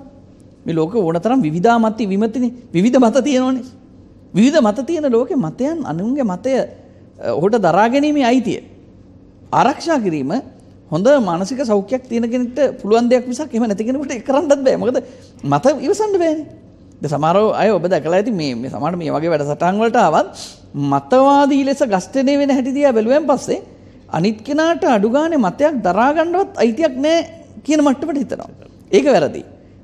ඉතින් හොඳයි. එහෙමනම් අපි ඉදිරියට මේ ගැන සාකච්ඡා කරමු. මම හිතන අපිට තව බොහෝ දේවල් මේ සියලු දේවල් අපේ ස්වස්ථතාවයට ස්වස්ථ චර්යාවට හරිම අදාළයි කියලා අපිට හැඟෙන දේවල්. නායක හඳුන ඔබ වහන්සේ අපි අතීතයේ යම් යම් දේවල් පිළිබඳ උදාහරණ දැක්වුවා. දැන් අපි දැකලා තියෙන කියන්නේ අපේ චර්යාවන් නිදින්දා වැඩ අපේ පුරුදු අපේ ශාරීරික සහ මානසික සෞඛ්‍යයට ගැළපෙන ආකාරයෙන් හසුරුවා ගත්තා අපේ පැරැන්නන්. එහෙම අපි විශ්වාස කරනවා. නමුත් වර්තමානයේ අපේ පුරුදු අපේ කාර්යයන් අපේ වැඩ අපේ මානසික හා ශාරීරික සෞඛ්‍යත්වයට ගැලපෙන්නේ ගැටෙනවා. මෙන්න මෙතන කොතනද ඇති වුණේ මේ මේ වැරද්ද කොතනද ඇති වුණේ කොහෙන්ද මේ ලෙඩේ අපිට බෝ වුණේ අපේ හාමුදුරුවෝ. දැන් සාමාන්‍යයෙන් ලෝකේ ස්වභාවය තමයි පහසුව නිතරම හොයන එක. පහසුවෙන් යමක් කරන්න වෙනවනේ. දැන් ඕනෑම දැන් කම්පියුටරේ වුණත් අපිට තියෙනවා ප්‍රෝග්‍රෑම් එකේ ගිහිල්ලා දැන් අපි හිතමු මේ control F ගන්න නැත්නම් control Z ගහලා ඒ විදිහට අපිට යන්නත් control button එක පාවිච්චි කරලා එහෙම මේ shortcut තියෙනවා. shortcut සාමාන්‍යයෙන් ලෝකෙ මිනිස්සු කැමතියි පාවිච්චි කරන්න. හැබැයි shortcut පාවිච්චි කළාට කමක් නැහැ. ඒ shortcut වලින් Tamanට ඉක්මනින් වැඩ කරගන්න පුළුවන්. හැබැයි උනාට shortcut නිසා මොකද අද වෙලා තියෙන්නේ? අද මුළු සමාජයේම රෝගී වෙලා තියෙනවා. හේතුව අපි අපි අපිට කරගන්න දැන් අපි හිතමු දැන් උයන්න යනකොට. ඉස්සර අපේ අම්මලා ගොඩාක් වැඩ කලානේ. ඊට කලින් හාල් මුට්ටියට දාන්න කලින් කොච්චර වැඩ ගොඩක් තියෙනවද? වී තම්බනවා, කොටනවා, පොළනවා. මේ සියල්ලත් එක මං හිතන්නේ ගෘහණියගේ ශාරීරික ව්‍යායාම ස්ථානයේ ජිම් එක බවට පත් වුණේ කුස්සියනේ. දැනද ගෘහිණියකට ඒක නැහැ. ඉතින් දැන් අද මොකද කරන්නේ ඇය අර මේ සල්ලි දීලා ජිම් වල ඇවිදිනවා නේ වගේ වැඩ කරනවා. ඉතින් කමන්නේ ඉතින් අද තාක්ෂණෙත් එක්ක සහ අද රටත් ලෝකෙත් එක්ක ඇගේ චර්යාව වෙනස් වෙලා ඇති. හැබැයි අපි කියන්නේ ඒ චර්යාවන් ඇතුලේ සකස් වෙලා තිබුණා ඔහුගේ ඇයගේ මානසිකත්වය සහ කායික නිරෝගීකමේ ආරක්ෂාව සලසන විදිය ක්‍රමවේදයක්. ඒ ක්‍රමවේදය අදටත් ඒ විදිහටම තියාගන්න පුළුවන් කියලා මං කියන්නේ. එහෙම කිව්වොත් එහෙම මේ වැඩසටහනේ මම වැරදි. මොකද හේතුව දැන් ලෝකෙ වෙනස්. තාක්ෂණෙත් එක්ක ලෝකෙ යන්නේ. ඒ නිසා අවම වශයෙන් අපිට පුළුවන්කම තියෙන්න ඕනේ එදා ඒ ලබාගත්තු ඒ කායික මානසික නිරෝගීකමට අදාළ චර්යාවන් තේරුම් අරගෙනවත් වැඩ කරන එක. දැන් අපි නිදසුනක් හැටියට ගත්තොත් මෙහෙම දැන් දැන් රූපවාහිනිය අපි බලනවා.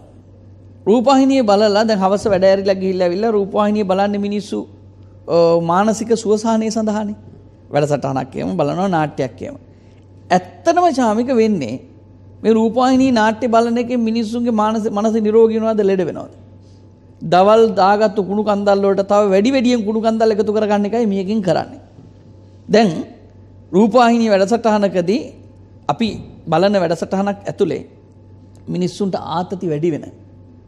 ඒ වගේම මිනිස්සුන්ගේ විවිධාකාර මානසික පීඩන වැඩි කරන ඒවා තමයි වැඩි. මම දුසුණක් හැටියට මෙහෙම කියන්න.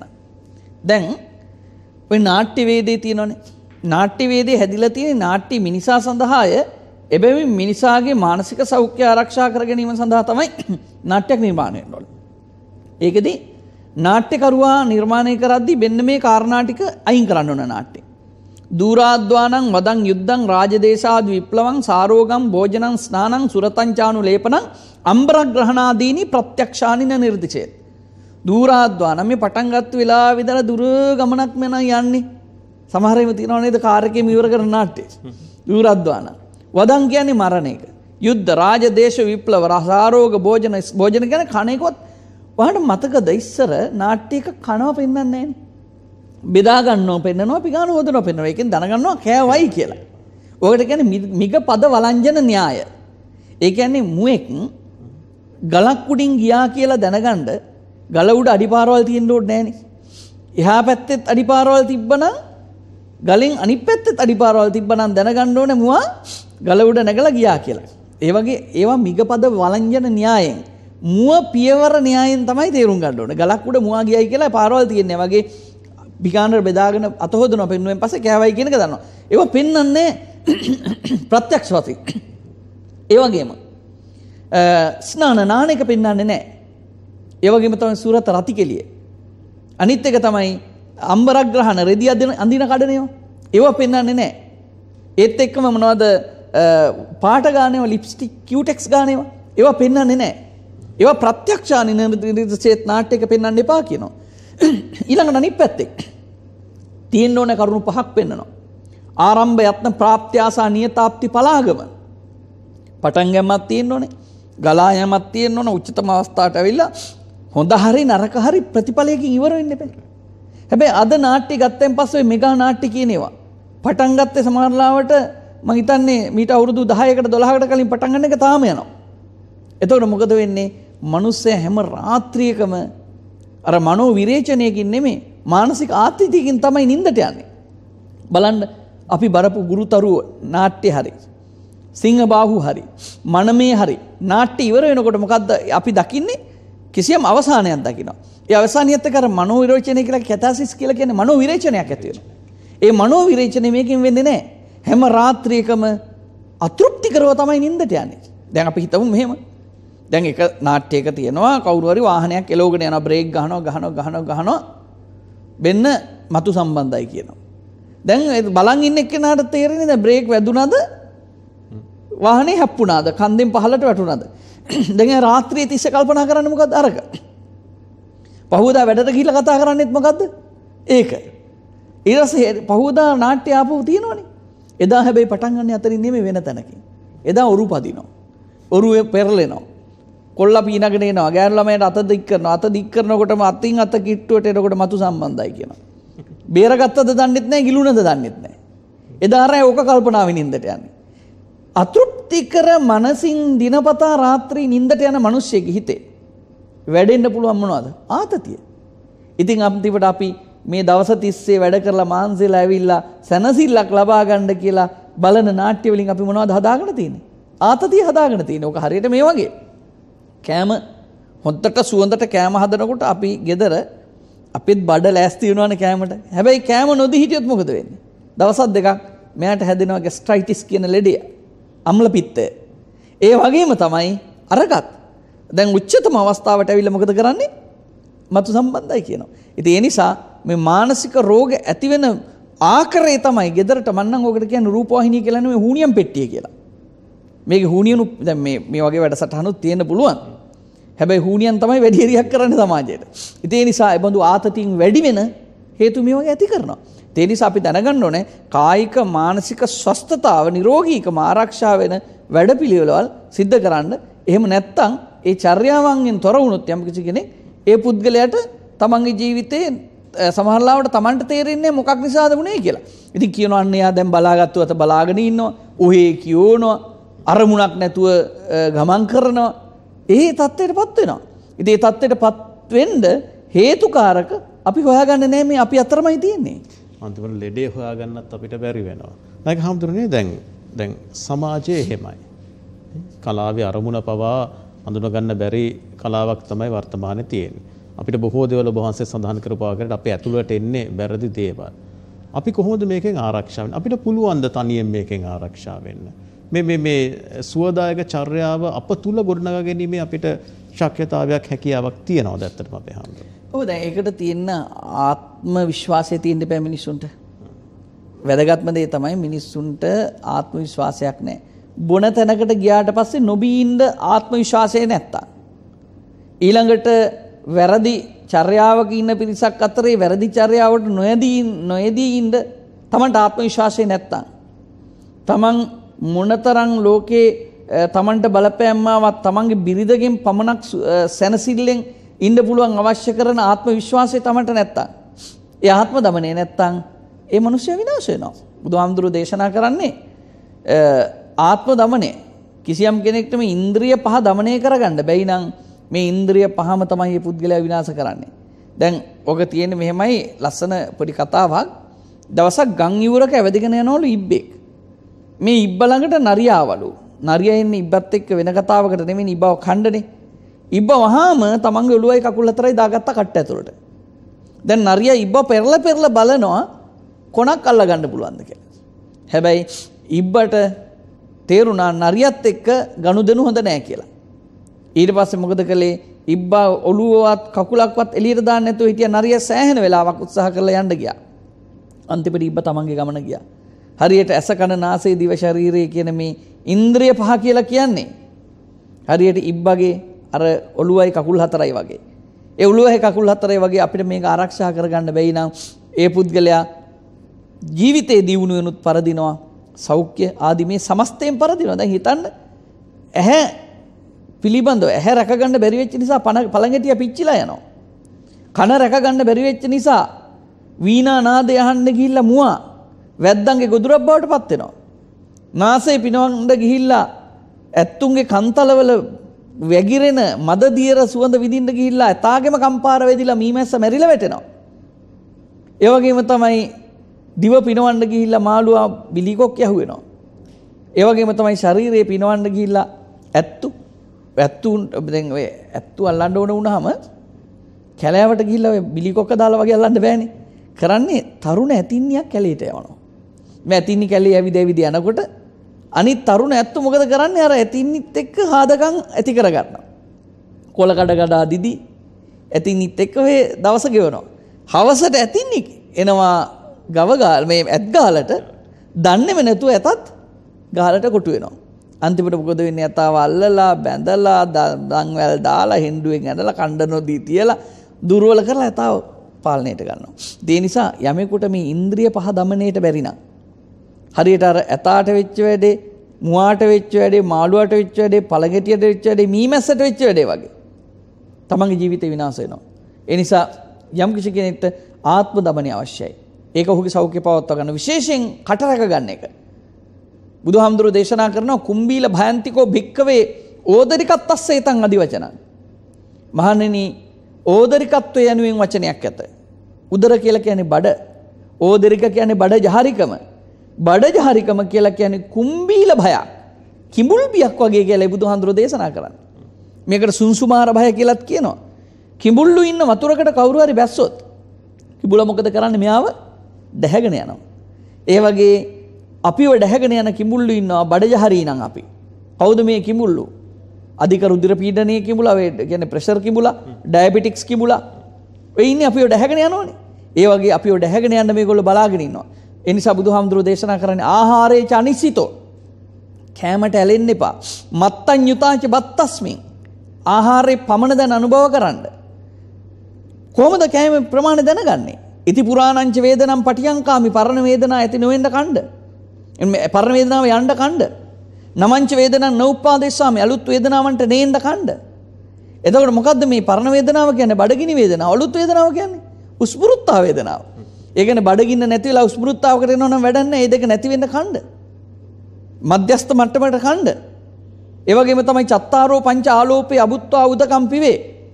බත් පිඩු හතරක් පහක් කණ්ඩ ඉඳ තියාගෙන වතුර බොන්න. ඒ හතර පහත් කෑවට පස්සේ කොහෙද වතුර බොන්නේ? ඒ නිසා ආහාරමේ චර්යාවන් මේ සමස්තය හදාගත්තොත් අන්නේ ආත්ම දමනයේ තියෙන කෙනාට තමයි මෙතෙන්ට යන්න පුළුවන්. දැන් ගොඩක් අය උදවිය හිතනවා ලෙඩ තියෙන ලෙඩට තමයි බෙහෙත් තියෙන්නේ කියලා. ලෙඩ හැදෙන්න කලින් බෙහෙත් නොකර ලෙඩ සනීප කරගන්න පුළුවන් ක්‍රමයක් තියෙනවා. මම දැක්ක පහුගිය දවසක හොඳ ලස්සන කියමනක්. ඒක තියෙනවා ඔබ ආහාර බෙහෙත් ලෙස නොගත්තොත් යම් දවසක ඔබට බෙහෙත් ආහාර මට්ටමට ගණ්ඩ වෙයි කියලා. ඉතිේ නිසා අපි අද දැනගන්න ඕන කෑමෙදී පැවැත්මදී චර්යාවදමි සියල්ලේදීම ඒ තමන්ගේ ස්වස්ථ චර්යාවන් ආරක්ෂා කරගන්න. එකට ආත්ම දමනය අවශ්‍යයි. ඒ ආත්ම දමනය නැති මනුස්සයකුට මේක කරන්න බෑ. දෙනිසා ජාමික අපි කතා කරන්නේ අන්නේ ආත්ම දමනය පුද්ගලය තුළ ගොඩනගන්න. ඒ ආත්ම දමනය තියෙන පුද්ගලයා අඳුරගණ්ඩ පුළුවන් හොඳ දීර්ඝායුෂක් භුක්ති විඳ දැන් ස්වස්ථ වෘත්ත ගැන කතා කරද්දී දීර්ඝායුෂ ගැන බුදුහාඳුරු විශේෂයෙන් කතා කරලා තියෙනවා. ඒකදී ඔහුගේ ජීවිතයේ ඒ අවදීන් ගැන කතා කරන්න ඕනේ. දැන් අපි ගත්තොත් එimhe දසක පුද්ගලගේ ජීවිතයේ තියෙනවා බුදුහාමුදුරු මේ දේශනාව ඇතුළේ 10කට කඩලා. මුල්ම 10 තමයි මන්ද දසකයේ පළවෙනි අවුරුදු 10. ඊළඟ අවුරුදු 10 තමයි ක්‍රීඩා දසකේ. ඊළඟ අවුරුදු 10 වන්න දසකේ. ඊළඟ අවුරුදු 10 බල දසකේ. ඊළඟ අවුරුදු 10 ප්‍රඥා දසකේ. ඊළඟ අවුරුදු 10 මොනවද දහානි දසකේ. ඊළඟ අවුරුදු 10 මෝමුහ පවංක දසකේ. ඊළඟ අවුරුදු 10 මෝමුහ දසකේ. අන්තිම අවුරුදු 10 කියන්නේ සයන දසකේ. එතකොට මේ 10 තේරුම් ගත්තන් පස්සේ පේනවා මුල් 10 දි මොනවද හැදෙන ලෙඩ. එතකොට අන්නේ 10ට ගැලපෙන දැන් පොඩි ළමෙක් වුණත් පළවෙනි අවුරුදු දහය වැඩිහරියක් සෙමලෙඩ වැඩි ඒවගෙන දෙවිනි අවුරුදු දහය ගොඩක් කලාට තුවාල කරගන්නවා වැඩි වැටනවා වැඩි. ඒ හැම දහජරාවක්ම කනවනේ අඹ ගැටත් කනවා ඔරවයි මෙව්වයි ඔක්කොම. හැබැයි ඊළඟ අවුරුදු 10ට යනකොට ටිකක් හිතනවා මේ ಗುಣ જાති තමයි අවුරුදු 20 34 කට්ටිය වෙන්නේ. හැබැයි අවුරුදු 30යි 40යි කට්ටිය ගොඩක් වෙලාවට තොර තොරන කන්න ඊට පස්සේ බලනවා. මේ ටිකක් ඊට වඩා ಗುಣ විතරක් නෙමෙයි. ඒකේ තමන්ගේ පාලනයකුත් හදා ගන්නවා. එහෙම එහෙම ගිහලා දැන් ආහාර පැත්ත ගත්තොත් චර්යා පැත්ත ගත්තොත් ඒ කාලෙන් කාලට වෙනස්. ඉතින් ඒ නිසා බුදුදහම මේ සමස්ත පුද්ගලයා පිළිබඳව හොඳ හොඳ නිර්වචනයක් එක තමයි මේ සෞඛ්‍ය පැවතුම් පිළිබඳව කතා කරන්නේ. ඒත් එකම ගත්තාම දැන් අපි දැන් ඔය සෞඛ්‍ය පැවතුම් වල ඒ ඒ කාලවල ඒ පුද්ගලයා සිටිය යුතු ආකාරය. ඒකෙදී ඔහු ක්‍රියාත්මක විය යුතු ආකාරය. දැන් නිකන් හිතන්න මංගල සූත්‍රය අරගන්න. මංගල සූත්‍රයේ පළවෙනියෙන් පටන් ගන්න අසේවනාච බාලාණන් කියලා. ඉවර කරන්නේ පුට්ටස්ස ලෝක ධම්මේ චිත්තං අසන කම්පති කියලා. මේ ආරෝග්‍යමත් ජීවිතයක් ගැන කතා කරන්නේ. බාලයන් සේවනය නොකර පටන් ගන්න කෙනා හොඳට ඉගෙනගෙන ඊට පස්සේ හොඳ සුදුසු ප්‍රදේශයක තමගේ ජීවිතය ගත කරන්න ගෙවල් දොරවල් හදාගෙන විවාහ කරගෙන දරුමල්ලෝ හදාගෙන එහෙම ගිහිලා අන්තිමට කියන්නේ මොකද පුට්ටස්ස ලෝක ධම්මේහි චිත්තං යස්සන කම්පති ලෝක ධර්ම Tamanට ස්පර්ශව ඉඳ ගත්තන් පස්සේ හිත කම්පා කරගන්න නැතුව Tamanට ජීවත් වෙන්න පුළුවන් නම් මෙන්න මේක තමයි නියම ජීවිතය කියලා.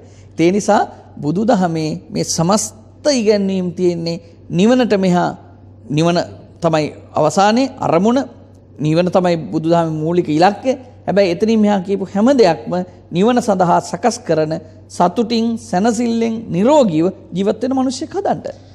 නිවන වෙත යන නිවීම මොන ආකාරයෙන් අපේ දහම අපිට උගන්වනවද? නායක හම්දුරනේ දැන් ඔබ වහන්සේ අර කරපු පැහැදිලි කිරීම එක්ක දැන් අර අර අර අභිමානය නැත්තම් ඒ පාලනය අපිට ආරක්ෂා කරගන්න මේ සමාජයේ තියෙන බාධා ගැනත් පොඩ්ඩක් කතා කරන්න හිතුණා අපේ හාමුදුරනේ.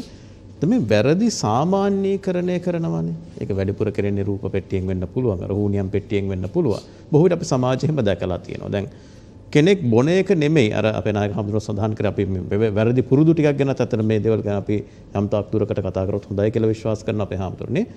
බොන එක නෙමෙයි සමහරවිට තියෙන ප්‍රශ්නය. ඇයි මෙයා නොබොන්නේ කියලා. නොබොන කෙනා අමුතු සතෙක් විදිහට තමයි සමාජයේ සමහර තැන්වල පිළිගන්නේ. අර දැන් නාට්‍ය ගත්තත් විවිධ සම්බන්ධතා, අනියම් සම්බන්ධතා ගැන අපි කතා කරන්නේ. දැන් මේක බොහොම සාමාන්‍යීකරණය වෙලා තියෙනවා. මෙන්න මේ දේවල් හරි හානිකරයි නේද අපේ හැමදෙන්නේ අපේ නිවැරදි චර්යාවට. මේ කොහොමද අපි හරියටම තේරුම් ගන්නේ? ඒකට හේතුව මේ ඇගයුම් වෙනස් වෙලානේ. සමාජයේ ඇගයුම් වෙනස් වෙලා.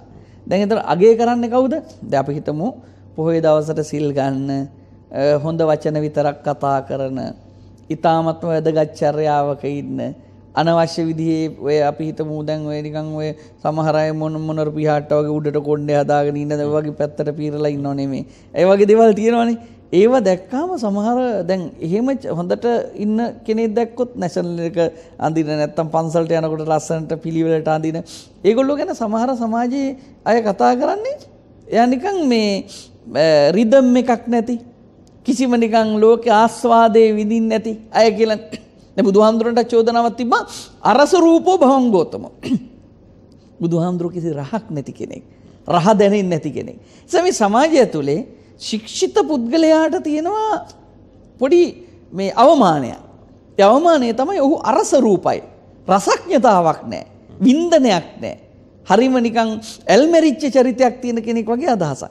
ඒ නිසා ඉතා පහසුවෙන් රසරූපී පුද්ගලයෙක් වීම සඳහා අර දුෂ්චරිතයන්ට ගිහම ඉවරයි. එතකොට කියන්නේ ආ මිනිහා නියමයි මිනිහාගේ හරි බොක්කස් පිරිසිදුයි හොඳට බොනවා. ඔය බොන මිනිස්සුන්ගේ බොක්ක හොඳයි කියලා කියනවනේ. බොක්ක හොඳයි නේ බොක්ක දිය වෙනවා. ඒ මිනිස්සුන්ට බොක්කක් නෑ මං හිතන්නේ.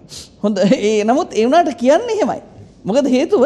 එහෙම කියන්නෙම අර ඒ පුද්ගලයා දිහා බලලා ඒ කියන්නේ ඒ Tamanට ඇද ගන්න ඒ සමාජෙ මොකද දුරාචාරයට තව ගොඩක් අය ඉන්නවනම් ගොඩක් අය කැමතිනේ මොකද ඒ ඒ ඒ නිසා Tamanට පුළුවන් පවතින්න.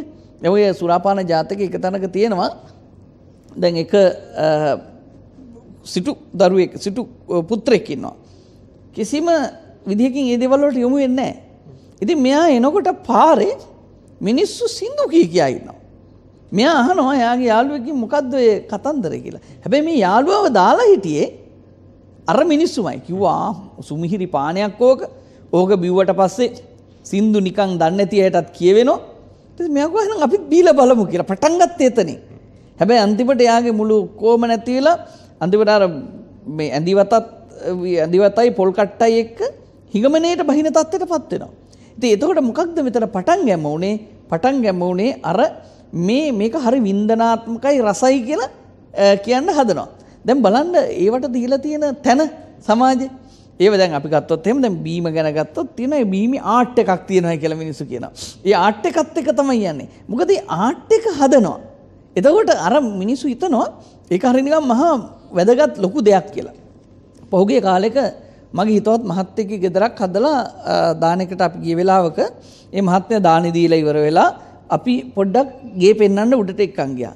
උඩට එක්කන් ගියන් පස්සේ මහත්තයෙක්ව මම කවදාවත් හම්දුනේ බොන්නේ නැහැ.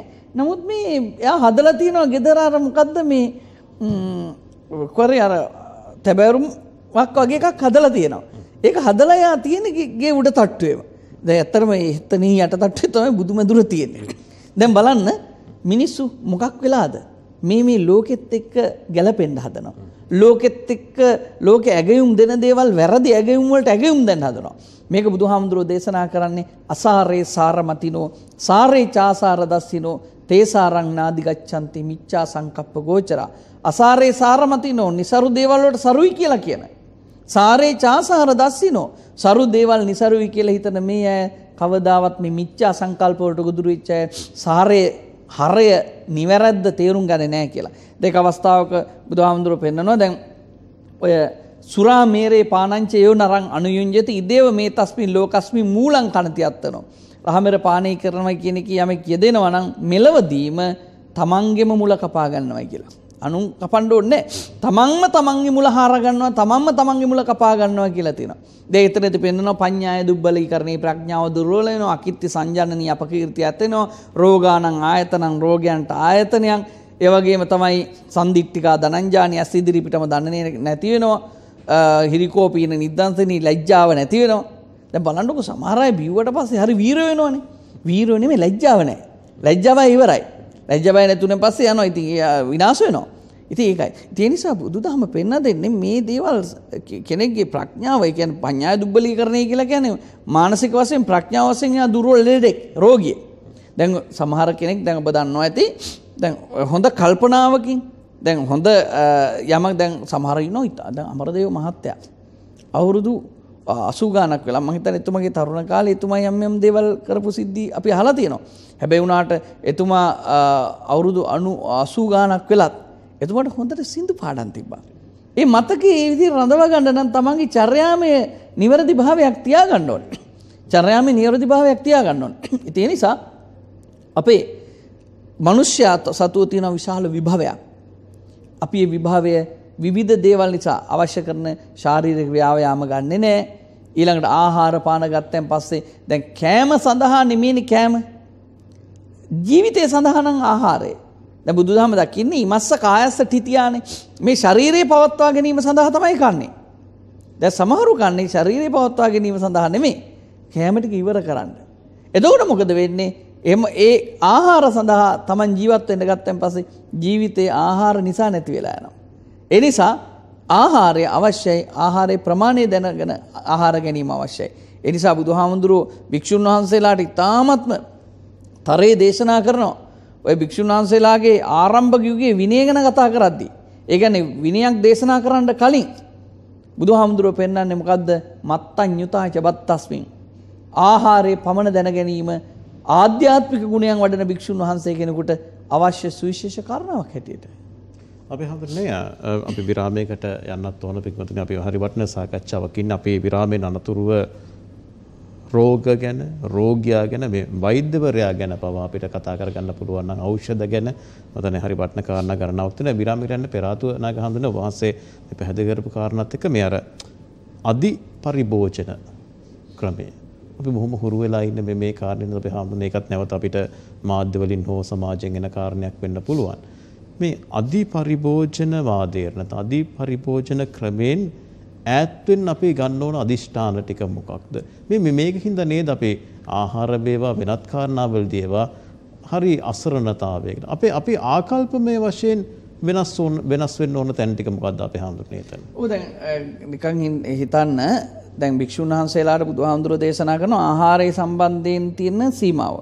ඒකෙදි තියෙන්නේ පින්ඩියා ලෝප භෝජන නිසාය පබ්බජ්ජා පින්ඩ පාතෙන් ලැබෙන ආහාරය.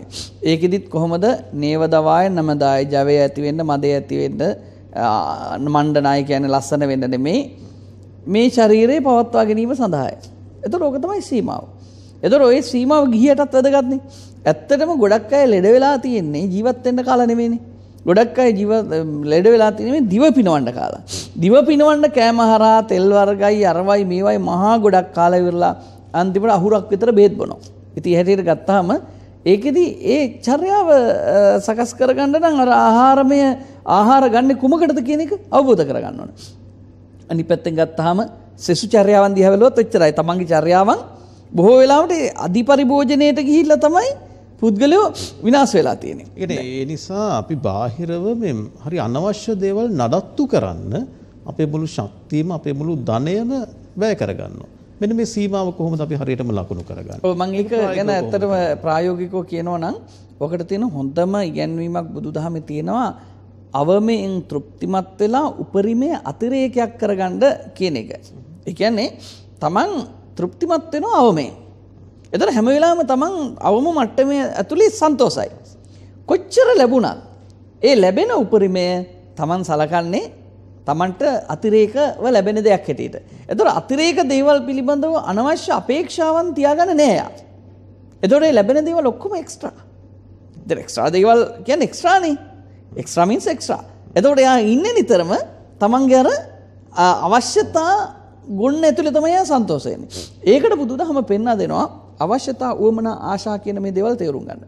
අවශ්‍යතා කියලා කියන්නේ තියෙන්න ඕන දේවල් නැතුවම බැරිවා. උවමනා කියලා කියන්නේ තිබ්බොත් හොඳයි. උවොත් මනාය කියන දේවල්. ආසා කියලා කියන්නේ තමන් දැක්ක පලියට නැත්තම් වෙන අය කරන නිසා අරගන්න දේවල්. ඒ නිසා ජීවිතයේ සැනසෙල්ලෙන් තියාගන්න නම් අවශ්‍යතාව වුණ ආසා තේරුම් ගන්න ඕනේ. සෞඛ්‍ය හා සම්බන්ධයෙන් ගත්තත් ඕකම තමයි අපිට වෙලා තියෙන්නේ. කෑම ඇඳුම් පැළඳුම් ගෙවල් දොරවල් මේ සමස්ත දේවල් වල අපි අවශ්‍යතාවට වඩා එහා ගිය උවමනාවට වඩා එහා ගිය ආසාවල් තෘප්තිමත් කරන්න කියලා මිනිස්සු අධික ලෙස වෙහෙසට පත් වෙලා ඉන්නවා. දැන් පහුගිය කාලේ දවසක එක මහත්මයෙක් විශාල ගයක් හදලා. ඒ මහත්මයාගේ ගෙදර විශාල වශයෙන් හදලා ලොකු ධනයක් වියදම් කරලා හැබැයි එකම දෙයයි උනේ ඒ මහත්තයාගේ මිනිහ තියන්න විතරයි ඒ ගෙදර පාවිච්චි කරන්න පුළුවන් උනේ. අපි කියන්නේ ගෙවල් ලොකුවට හදන්න එපා කියලා. හැබැයි පුදුම වෙහෙසක් වුණා ඒ වෙටුවෙන්. එවනින් පුදුම වෙහසක් වුණා මහන්සිනවා ඔක්කොම කළා අන්තිමට එයා මිය ගියා. ඒ වගේ ඕන තරම් මේ සමාජයේ මිනිස්සු ඉන්නවා ජීවත් වීම සඳහා ජීවිතේ නැති කරගන්නවා. ජීවත් වීම සඳහා ජීවිතේ නැති කරගන්නවා. එතකොට ජීවත් වෙන්න ලොකු බලාපොරොත්තු ගොඩක් තියාගෙන ජීවිතේ ඒ වෙනුවෙන් වෙහෙසිලා වෙහෙසිලා වෙහෙසිලා අන්තිමට හැරිලා බලනකොට තමන් කරගත්තු දේකුත් නැහැ ජීවිතෙත් ඉවරලා ඉවරයි. ඒ නිසා අල්පේච්ඡකම ඒ වගේම ක්‍රමානුකූල බව ඒත් එක්කම කායික මානසික වශයෙන් තමන් හැමදේටම කාලේ වෙන් කර ගැනීම. දැන් ඔය රොකෆෙල කියලා කෙනෙක් අහලා ඇති රොකෆෙල ෆවුන්ඩේෂන් කියලා. ඒක බොහොම ලෝකේ අධ්‍යාපනයට උදව් කරන තැන ආයතනයක්. මේ රොකෆෙල ෆවුන්ඩේෂන් එකේ tie ඒක ආරම්භුනේ මෙහෙමයි. ඒ පුද්ගලයා දැඩි ලෙස රෝගාතුර භාවයට පත් වුණා. මොකක් නිසාද?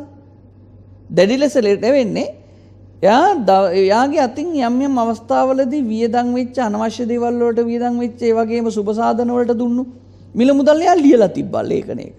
මේක දවසක් මෙයා කියවලා බලනකොට මෙයාට පේන ලොකු ගාණක් ගිහිලානේ. මේක මගේ ව්‍යාපාර වලට දැම්ම නම් අද මේක මෙච්චර ලොකු මුදලක් වෙන්න තිබ්බයි කියලා එයාගේ හිත කියන්න ගත්තා. අන්තිමට ඒ ගැන කල්පනා කරලා කල්පනා කරලා කල්පනා කරලා අන්තිමට මේ මිනිස්සයා සුදු මැලි වෙලා කණ්ඩ බැරි වෙලා ඇඳට වැටිලා ලෙඩෙක් වුණා. දැන් එයාට මුල මතක නැහැ දැන් මොකද එයාට උනේ කියලා. දැන් හැබැයි ලෙඩෙක්. විවිධ වෛද්‍යවරු ගෙනාවක් කිසිම එකකින් සනීප කරන්න බෑ. පස්සේ බෞද්ධ භික්ෂුන් වහන්සේ නමක් මෙයාට මුණ ගැහෙනවා. එයා අහනවා ඔබ ඔබතුමාට මොන හරි මානසික ප්‍රශ්නයක් තියෙනවද? මානසික ඔබතුමා තැවෙන දෙයක් තියෙනවද? එයා කල්පනා කරලා කියලා තියෙනවා මට මෙන්න මෙහෙම දෙයක් තියෙනවා. මගේ අතින් එදා මගේ ගිලිහිච්ච මුදල් මගේ ව්‍යාපාරවලට මම යෙදුවනම් අද මේ තරම් ධනවතෙක් නේද කියලා මට හිතුණා. හැබැයි ඒක නම් මගේ හිතට වේදනාවක් දෙනවා කියලා. ඒ වෙලාවේදී හාමුදුරු එක බුදුබණ පදයක් කියනවා. අතීතං නානු සෝචන්ති නප්පජප්පන්ති නාගතං. අතීතය ගැන සෝක වෙන්න එපා මොකද අතීතේ ගිහිල්ලා ඉවරයි. අනාගතය ගැන දුක් වෙන්න එපා මොකද අනාගතය තාම ඇවිල්ලා නැහැ. ඒ වෙනකම් අපි ඉදිත් දන්නෝනේ. පච්චුප්පන්නේනේ ආපෙන්ති. වර්තමානයේ තුල ජීවත් වෙන්න කියලා බෙන්න මේක උගන්වනවා. මේක ගෙවන් පස්සේ මෙයාට තේරෙන ඇත්තට මම ගිය අතීතයක් ගැන මම මේ ශෝක කර කර වර්තමානයේ විනාශ කරගෙන තියෙන්නේ කියලා. එයා ඒකම හිතලා එයාගේ රෝගේ සනීප කරගන්නවා. එසේ ඒක ඖෂධයක් බවට පත් වුණා බුදු බුදුබණ පදය. ඒක ඖෂධයක් බවට පත් කරාම අද ගොඩක් මිනිස්සුන්ට මේ ඖෂධය නැති නිසා නේද පහුගිය පහුගිය යට ගියා වෙනුවෙන් ගහමරා ගන්නවා. එහෙමත් නැත්නම් හෙට දවසේ මොනවද වෙන්නේ කියලා හිත හිතා කතා කරනවා. ගෙවල් වල තියෙන තරමක් තියෙන්නේ ඕවා නේද? කෙන්දිරි ගානවා, බැන ගන්නවා, ගහ ගන්නවා, අවිශ්වාසය හදාගෙන නැත්තම් මේ සමස්ත ලෝකයේ මිනිස්සුර ගත්තොත් පවත්න වර්තමානයේ තුල ජීවත් වෙන්න අකමැති අතීතය අනාගතේ ජීවත් වෙනයි. අතීතය අනාගතේ අපිව ලෙඩ කරනවා ජාමික මහත්තයා. අපි බොහොම වැදගත් කාරණා ගණනාවක් අද දවසේ සාකච්ඡා කරන අපේ මාතෘකාව ඇතුළේ මේ ස්වස්ථ චර්යාව කියන මාතෘකාව ඇතුළේ අපේ නායක හඳුනන ලස්සනට මේ දේවල් අපිට පැහැදිලි කරලා දෙනවා. තව බොහෝ දේවල් අපිට කතා කරන්න ඉතුරු වෙලක් තියෙනවා. ඊට පෙර ආතුව කෙටි විරාමයක් ලබා ගන්න අද නැන පහනෙන් අපිට අවසර දෙන්න.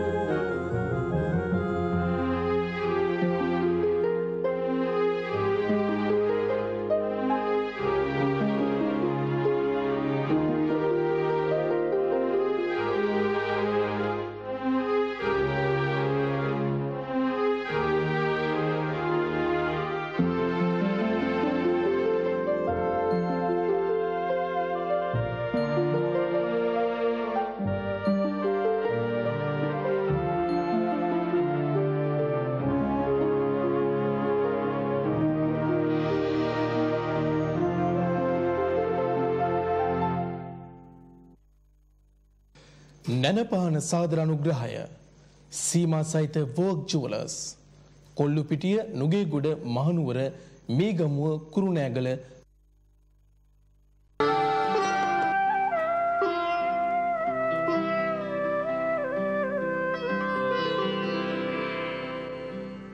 හිතක නැගෙන ඉසිකෝමන් මුලින් සිඳ දමක මහිම නිකැලැල් සුව පුදන ලද.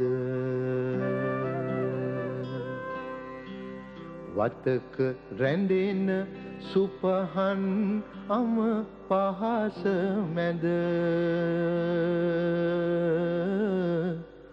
රටට බුදුන් සිහිලස මිස සැපක් කොද. මෙම දහම් පඩුර සීමා සහිත වෝක් ජුවලර්ස් වෙතින්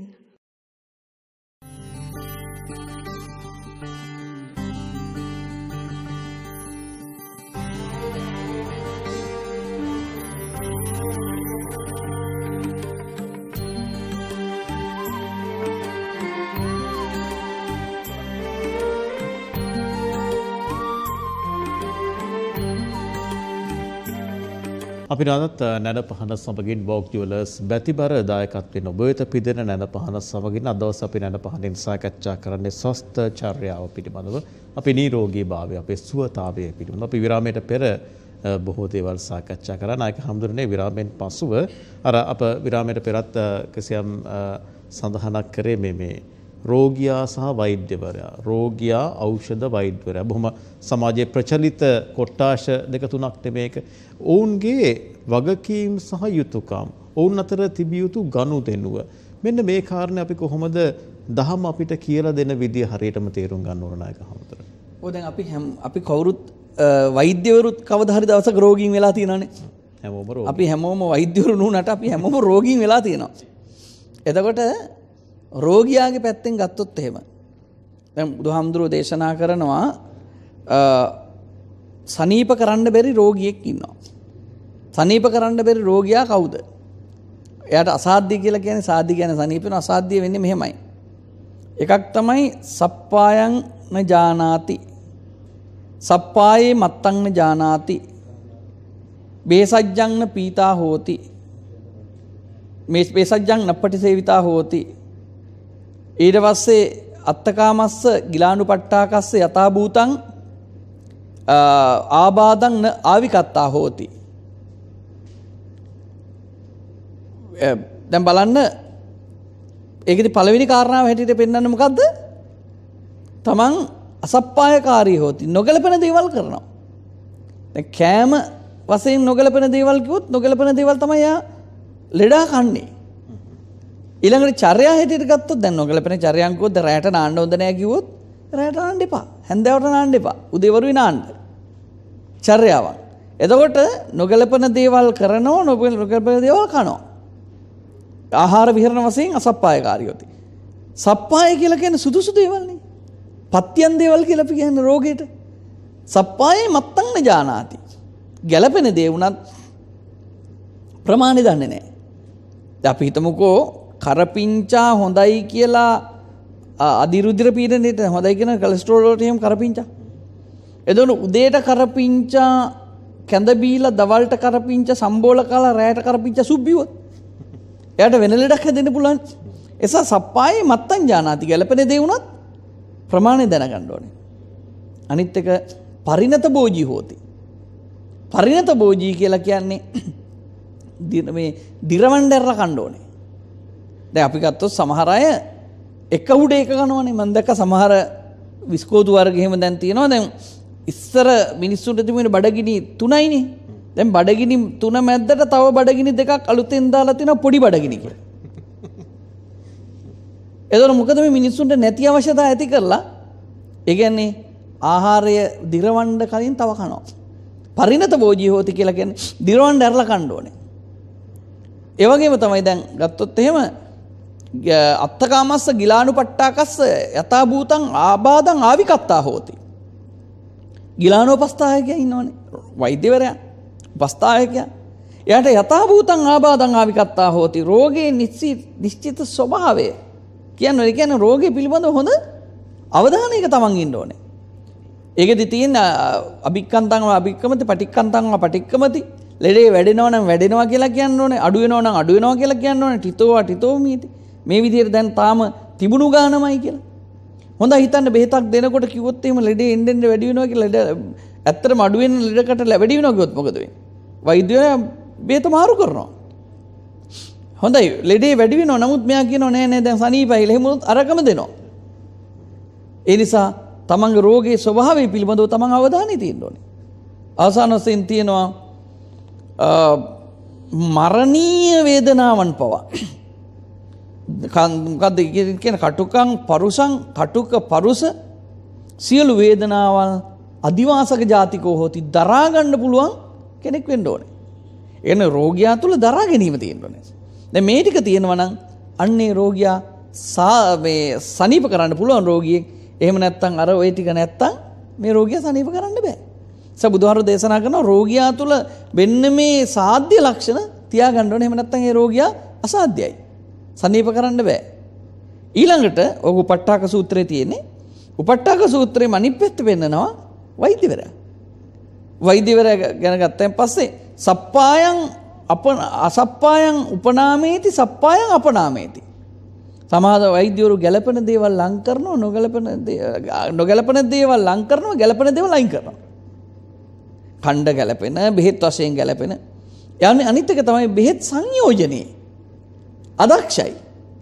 හොඳ වෛද්‍යවරයා නම් බෙහෙත් සංයෝජනයේ දක්ෂ වෙන්න ඕනේ. ඒ වගේම තමයි එයාට රෝගියට කාලේන කාලං කලින් කලට ධම්මියා කතාය සන්දස්සේති සමාධපේති සමුත්තේජේති. ඕට රෝගය පිළිබඳව කියලා දිල්ල රෝගයන්ගේ ස්වභාවය ගැන කියලා දීලා වගේ මන එයාගේ මනස හදන්න ඕනේ. ඒ වගේම රෝගියා පිළිබඳව න ආමිසන්තරා මුදල් වෙනුවෙන් නෙමෙයි මෙත්ත චිත්තෝ මෛත්‍රී සිතින් තමයි මේ බෙහෙත් කරන්න ඕනේ. රෝගියාට. ඉතින් මෙන්න මේ අනිත් එක තමයි අජේකුච්චි හෝති හොඳ වෛද්‍යවරයෙක් නම් අජේකුච්චි හෝති පිළිකුල් කරන්නේ වන්තන්වා කේලංවා කෙල වමනය උච්චාරංවා පස්සාවන්වා වැසිකිලි කැසිකිලි අල්ලන්ඩ ඒවට කැතවෙන්නේ නෑ හොඳ වෛද්‍යවරයෙක් වෙන්ඩ අවශ්‍ය හොඳ උපස්ථායකයෙක් වෙන්ඩ අවශ්‍ය ලක්ෂණත් බුදු හන්දුරෝ දේශනා කරනවා. ඉති මෙන්න මේ උපස්ථායක සහ රෝගයාගේ හොඳ ලක්ෂණ තියෙනවනං ඒ රෝගයා සනීප කරගන්න පුළ මේ උපස්ථායකගේ සහ රෝගයාගේ හොඳ ලක්ෂණ නැත්තං ඒ රෝගය සනීප කරගන්න පුළුවන්කමක් නෑ. දැ බලන්ඩ මෙතනදි රෝගයා පිළිබඳව තියෙනවා යම් ඉවසීමේ පැත්තක්. වෛද්‍යවරය හා සම්බන්ධයෙන් තියෙන්නේ ඇත උපස්ථායක හා සම්බන්ධයෙන් පැත්තියෙන්නේ මානව ධර්මතා. මේ ඉවසීම මානව ධර්මතා කියන මේ දෙකම එකතුනය පස්ස තමයි හොඳ නිරෝගී පුද්ගලෙක් ගොඩනගා ගන්න පුළන්ගෙන රෝගියෙක් නිරෝගී කරගන්න පුළන් වෙන්නේ. බුද්ධ භාෂිතයම තියෙන කාරණා. නැග හමුදුරන්නේ ඖෂධ ගැන කතා කරෝතින් දැන් දැන් දැන් ඔය සමහර නවීන තාක්ෂණයත් එක්ක දැන් සමහර ඖෂධ නිපදවීමේදී අපි දැකලා තියෙනවා විවිධ සත්වයන් ඒ සඳහා යොදා ගන්නා කර පර්යේෂණ කටයුතු සඳහා මේක මේක දහමට එකඟ නෑ කියන කිසියම් පොදු මතයක සමහරු ඉන්න පුළුවන්. නමුත් මේක නවීන තාක්ෂණ මේක කෙනෙකුට සුවපත් භාවය ඇති කරන්නයි මේ පරීක්ෂණ කරන්න කියලා තවත් කෙනෙක් කියන්න පුළුවන්. මේකේ තියෙන ඇත්ත తත්වය අපි කොහොමද හරියට අවබෝධ කරගන්න ඕන අපේ හැම. කොහොමද මහත්තයා මේ දහමයි පුද්ගල ශරීරය ගලපන්නේ? මේක දෙකක්. දහම කියන්නේ වෙනම එකක් මිනිස් සිරුර කියන්නේ වෙනම එකක්. දැන් මේකෙදී ධර්ම චර්යාව කියන එක අපිට අවශ්‍යයි. හැබැයි මිනිස් සිරුර ක්‍රියාත්මක වෙන්නේ ධර්මචර්යාවට අදාළ විදියට නෙමේ ඒක සකස් වෙච්ච ජෛවමය ස්වභාවයකට අනුව. දැන් මෙතනදී දැන් අපි මෙහෙම හිතමු. දැන් අපිට පේනවා එක තැනක එක්තරා භික්ෂුන් වහන්සේ නමකට අමනුෂ්‍ය රෝගයක් ඇති වුණා. ඒ භික්ෂුන් වහන්සේ ඌරු ලේබිව්ව ගිහිල්ලා. දැන් මේක බුදුහාමුදුරුවෝ ඒ භික්ෂුන් වහන්සේට අනුදැනව දාරනවා අනුමත කරනවා. ඌරු මරණ තැනකට ගිහලා ඌරු ලේබිව්ව භික්ෂුන් වහන්සේ. අමනුෂ්‍ය රෝගයකට හේතුවක් හැටියට. ඒ වගේම අපිට මතකයි සුප්පියා උපාසිකාව. අර පහුගිය කාලේ එක්තරා වැරදි මතදරන කෙනෙක් බුදුහාමුදුරුවෝ මිනිමස් කෑවයි කියලා කිව්වේ. බුදුහාමුදුරුවෝ මිනිමස් වළඳලා නැහැ. බුදුහාමුදුරුවෝ මිනිමස්තය වෙන මසක්වත් වළඳුවාදයි කියලා මම නම් දන්නේ නැහැ. ඔය සමහර සමහර දේවල් වලදී යම් යම් මුදවිය ඒ දේවල් තහවුරු කරන්න විවිධ කතන්දර කියනවා. නමුත් සුප්පියා උපාසිකාව විහාරයට ගියන් පස්සේ එක හාමුදුරු කෙනෙක් බේතක් බීලා. මේ හාමුදුරන්ගෙන් ඇහුවා ස්වාමීනි ඔබ වහන්සේගේ බෙහෙතට මේ පත්තියන් වෙන ගැළපෙන ආහාර මොනවද තියෙන්නේ කියලා. මෙය එහෙම ඇහුවට පස්සේ මේ හාමුදුරුවෝ කිව්වා මාංශයක් මේකට අවශ්‍යයි. සාමාන්‍යයෙන් ඒ වගේ උපාසිකාවකට කැපකරු උපාසිකාවකට කියන්න පුළුවන් විනයානුකූලක වැරද්දක් නෙමෙයි. ඊට පස්සේ උපාසිකාව මොකද කරන්නේ මේකට කියන්නේ නිට්ඨිත මාංශ කියලා. නිට්ඨිත මාංශ කියන්නේ කොහේ හරි තැනක මස් තියනවද කියලා බලන්න කිව්වා ගිහිල්ලා මේ ගණ්ඩ තැනක. එදා කොහෙවත් මස් හොයාගන්න බැරි වුණා. අන්තර මේ උපාසිකාව හරිම සද්ධාවන්තයි.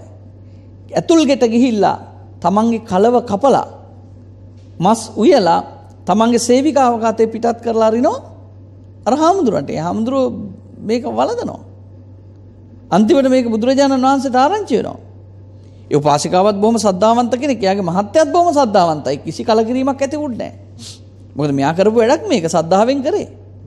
අන්තිමට බුදුහාමුදුරුවෝ භික්ෂුන් වහන්සේලාට අනුදැන වදාරනවා දස මාංශයක් අකපයි වළඳන්න.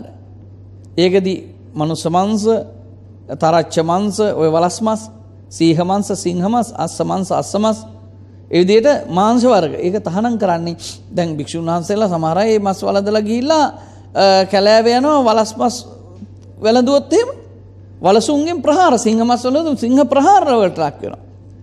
ඒ නිසා මොකද භික්ෂුන් වහන්සේලා මස් වළඳනවා කියන්නේ ඔබ මස් වළඳනවා වගේ එකක් නෙමෙයි. ඔබට මස් අනුභව කරන්න වෙන්නේ ඔබට කඩෙන් ගෙනහිලා උයලා තමන් හදා ගන්න ඕනේ. භික්ෂුන් වහන්සේලා ඒ කාලේ එහෙම නෙමෙයි පින්ඩපාත යන්නේ. ඔබගේ ගෙදර හදපු එකම ව්‍යංජනයේ ආහාරය නම් ඔබ ඒක දෙනවා. එතකොට ඔබගේ දානය පිළි නොගෙන ඉන්න භික්ෂුන් වහන්සේ කෙනෙකුට යුතුයකමක් නැහැ. මොකද හේතුව ඒක පරපටිබද්ධ ජීවිතයක්. අද කාලේ තත්ත්වය එදා තත්ත්වය සම්පූර්ණ වෙනස්. ඒ සන්දර්භය තුල බලන්න ඕනේ. ඒ නිසා එවිදි මස් මාංශ ආහාරයට දුන්නේ බෙහෙත් වලට ප්‍රත්‍ය වෙන දේවල් තිබිලා තිනවා. ඒ වගේම තමයි ඔය පොළොන්නරුවේ අපිට හමු වෙනවා ශිලාලේඛන කොටවලා තිබුණා. ඒ පළාත යම් කිසි තැනක සතෙක් මැරුණොත් යම් කිසි ස්වභාවික හේතුවක් නිසා ගහක් කඩා වැටිලා වෙන්න පුළුවන් අනතුරක් වෙලා වහාම මේ සතා ගෙනල්ලා බාර දෙන තැනත් තිබුණා විහාරස්ථානේ. ඒ සතා ගෙනල්ලා බාර දෙන විහාරස්ථාන කියන්නේ එතන තියෙනවා මේ ආරෝග්‍ය ශාලාව. ආරෝග්‍ය ශාලාව මොකටද මාංශ වලින් හදන බෙහෙත් වලට හදන්න. මාංශ වලින් හදන බෙහෙත් වලට ගන්න ඒ මැරිච්ච සතා ගෙනල්ලා බාර දෙන්න ඕනේ. ඒ වගේ ක්‍රම ශිල්පත් අපේ පැරණි ක්‍රමවල හදලා තිබුණා. සතෙක් මරන්න නැතුව සත්වයන්ගෙන් ගන්න ඕනේ අවශ්‍ය කරන දේවල් බෙහෙත් සඳහා ලබාගත්තු හැටි තිබුණා. හැබැයි දැන් ඔය අද ගෙම්බෝ කපනවයි කියනවා මීයෝ කපනවයි කියනවා වෛද්‍ය වෘත්තිය. එදා ඒ වෙනුවට පාවිච්චි කරලා තිබුණා දැන් ඔය නෙළුම් දඬු නෙළුම් කොළ ඔයා දන්නවද චාමික ඔපරේෂන් කරන විදිය ඉස්සර පැරණි වෛද්‍ය ශාස්ත්‍ර අපේ බෞද්ධ පොතපතේ සඳහන් කරන්නේ නෙළුම් කොලේ වතුර උඩ තියෙන නෙළුම් කොලේ කපන්න පුළුවන් වෙන්න ඕනේ ඒ ශල්්‍ය වෛද්‍යවරයෙක් වෙනද බුදුහාඳුරන්ට නමක් තියෙනවනේ සල්ලකත්ත කියලා. බුදුහාඳුරන්ට කියන්නේ ශල්්‍ය වෛද්‍යවරයා කියලා. බිසක්ක කියලා කියනවා. බෙහෙත් දෙන වෛද්‍යවරයා කියලා. සත්තට වන බව දුකට වේදාන. බුදුහාඳුර සත්තට වෙන භව දුකට වෙදෙක්නේ.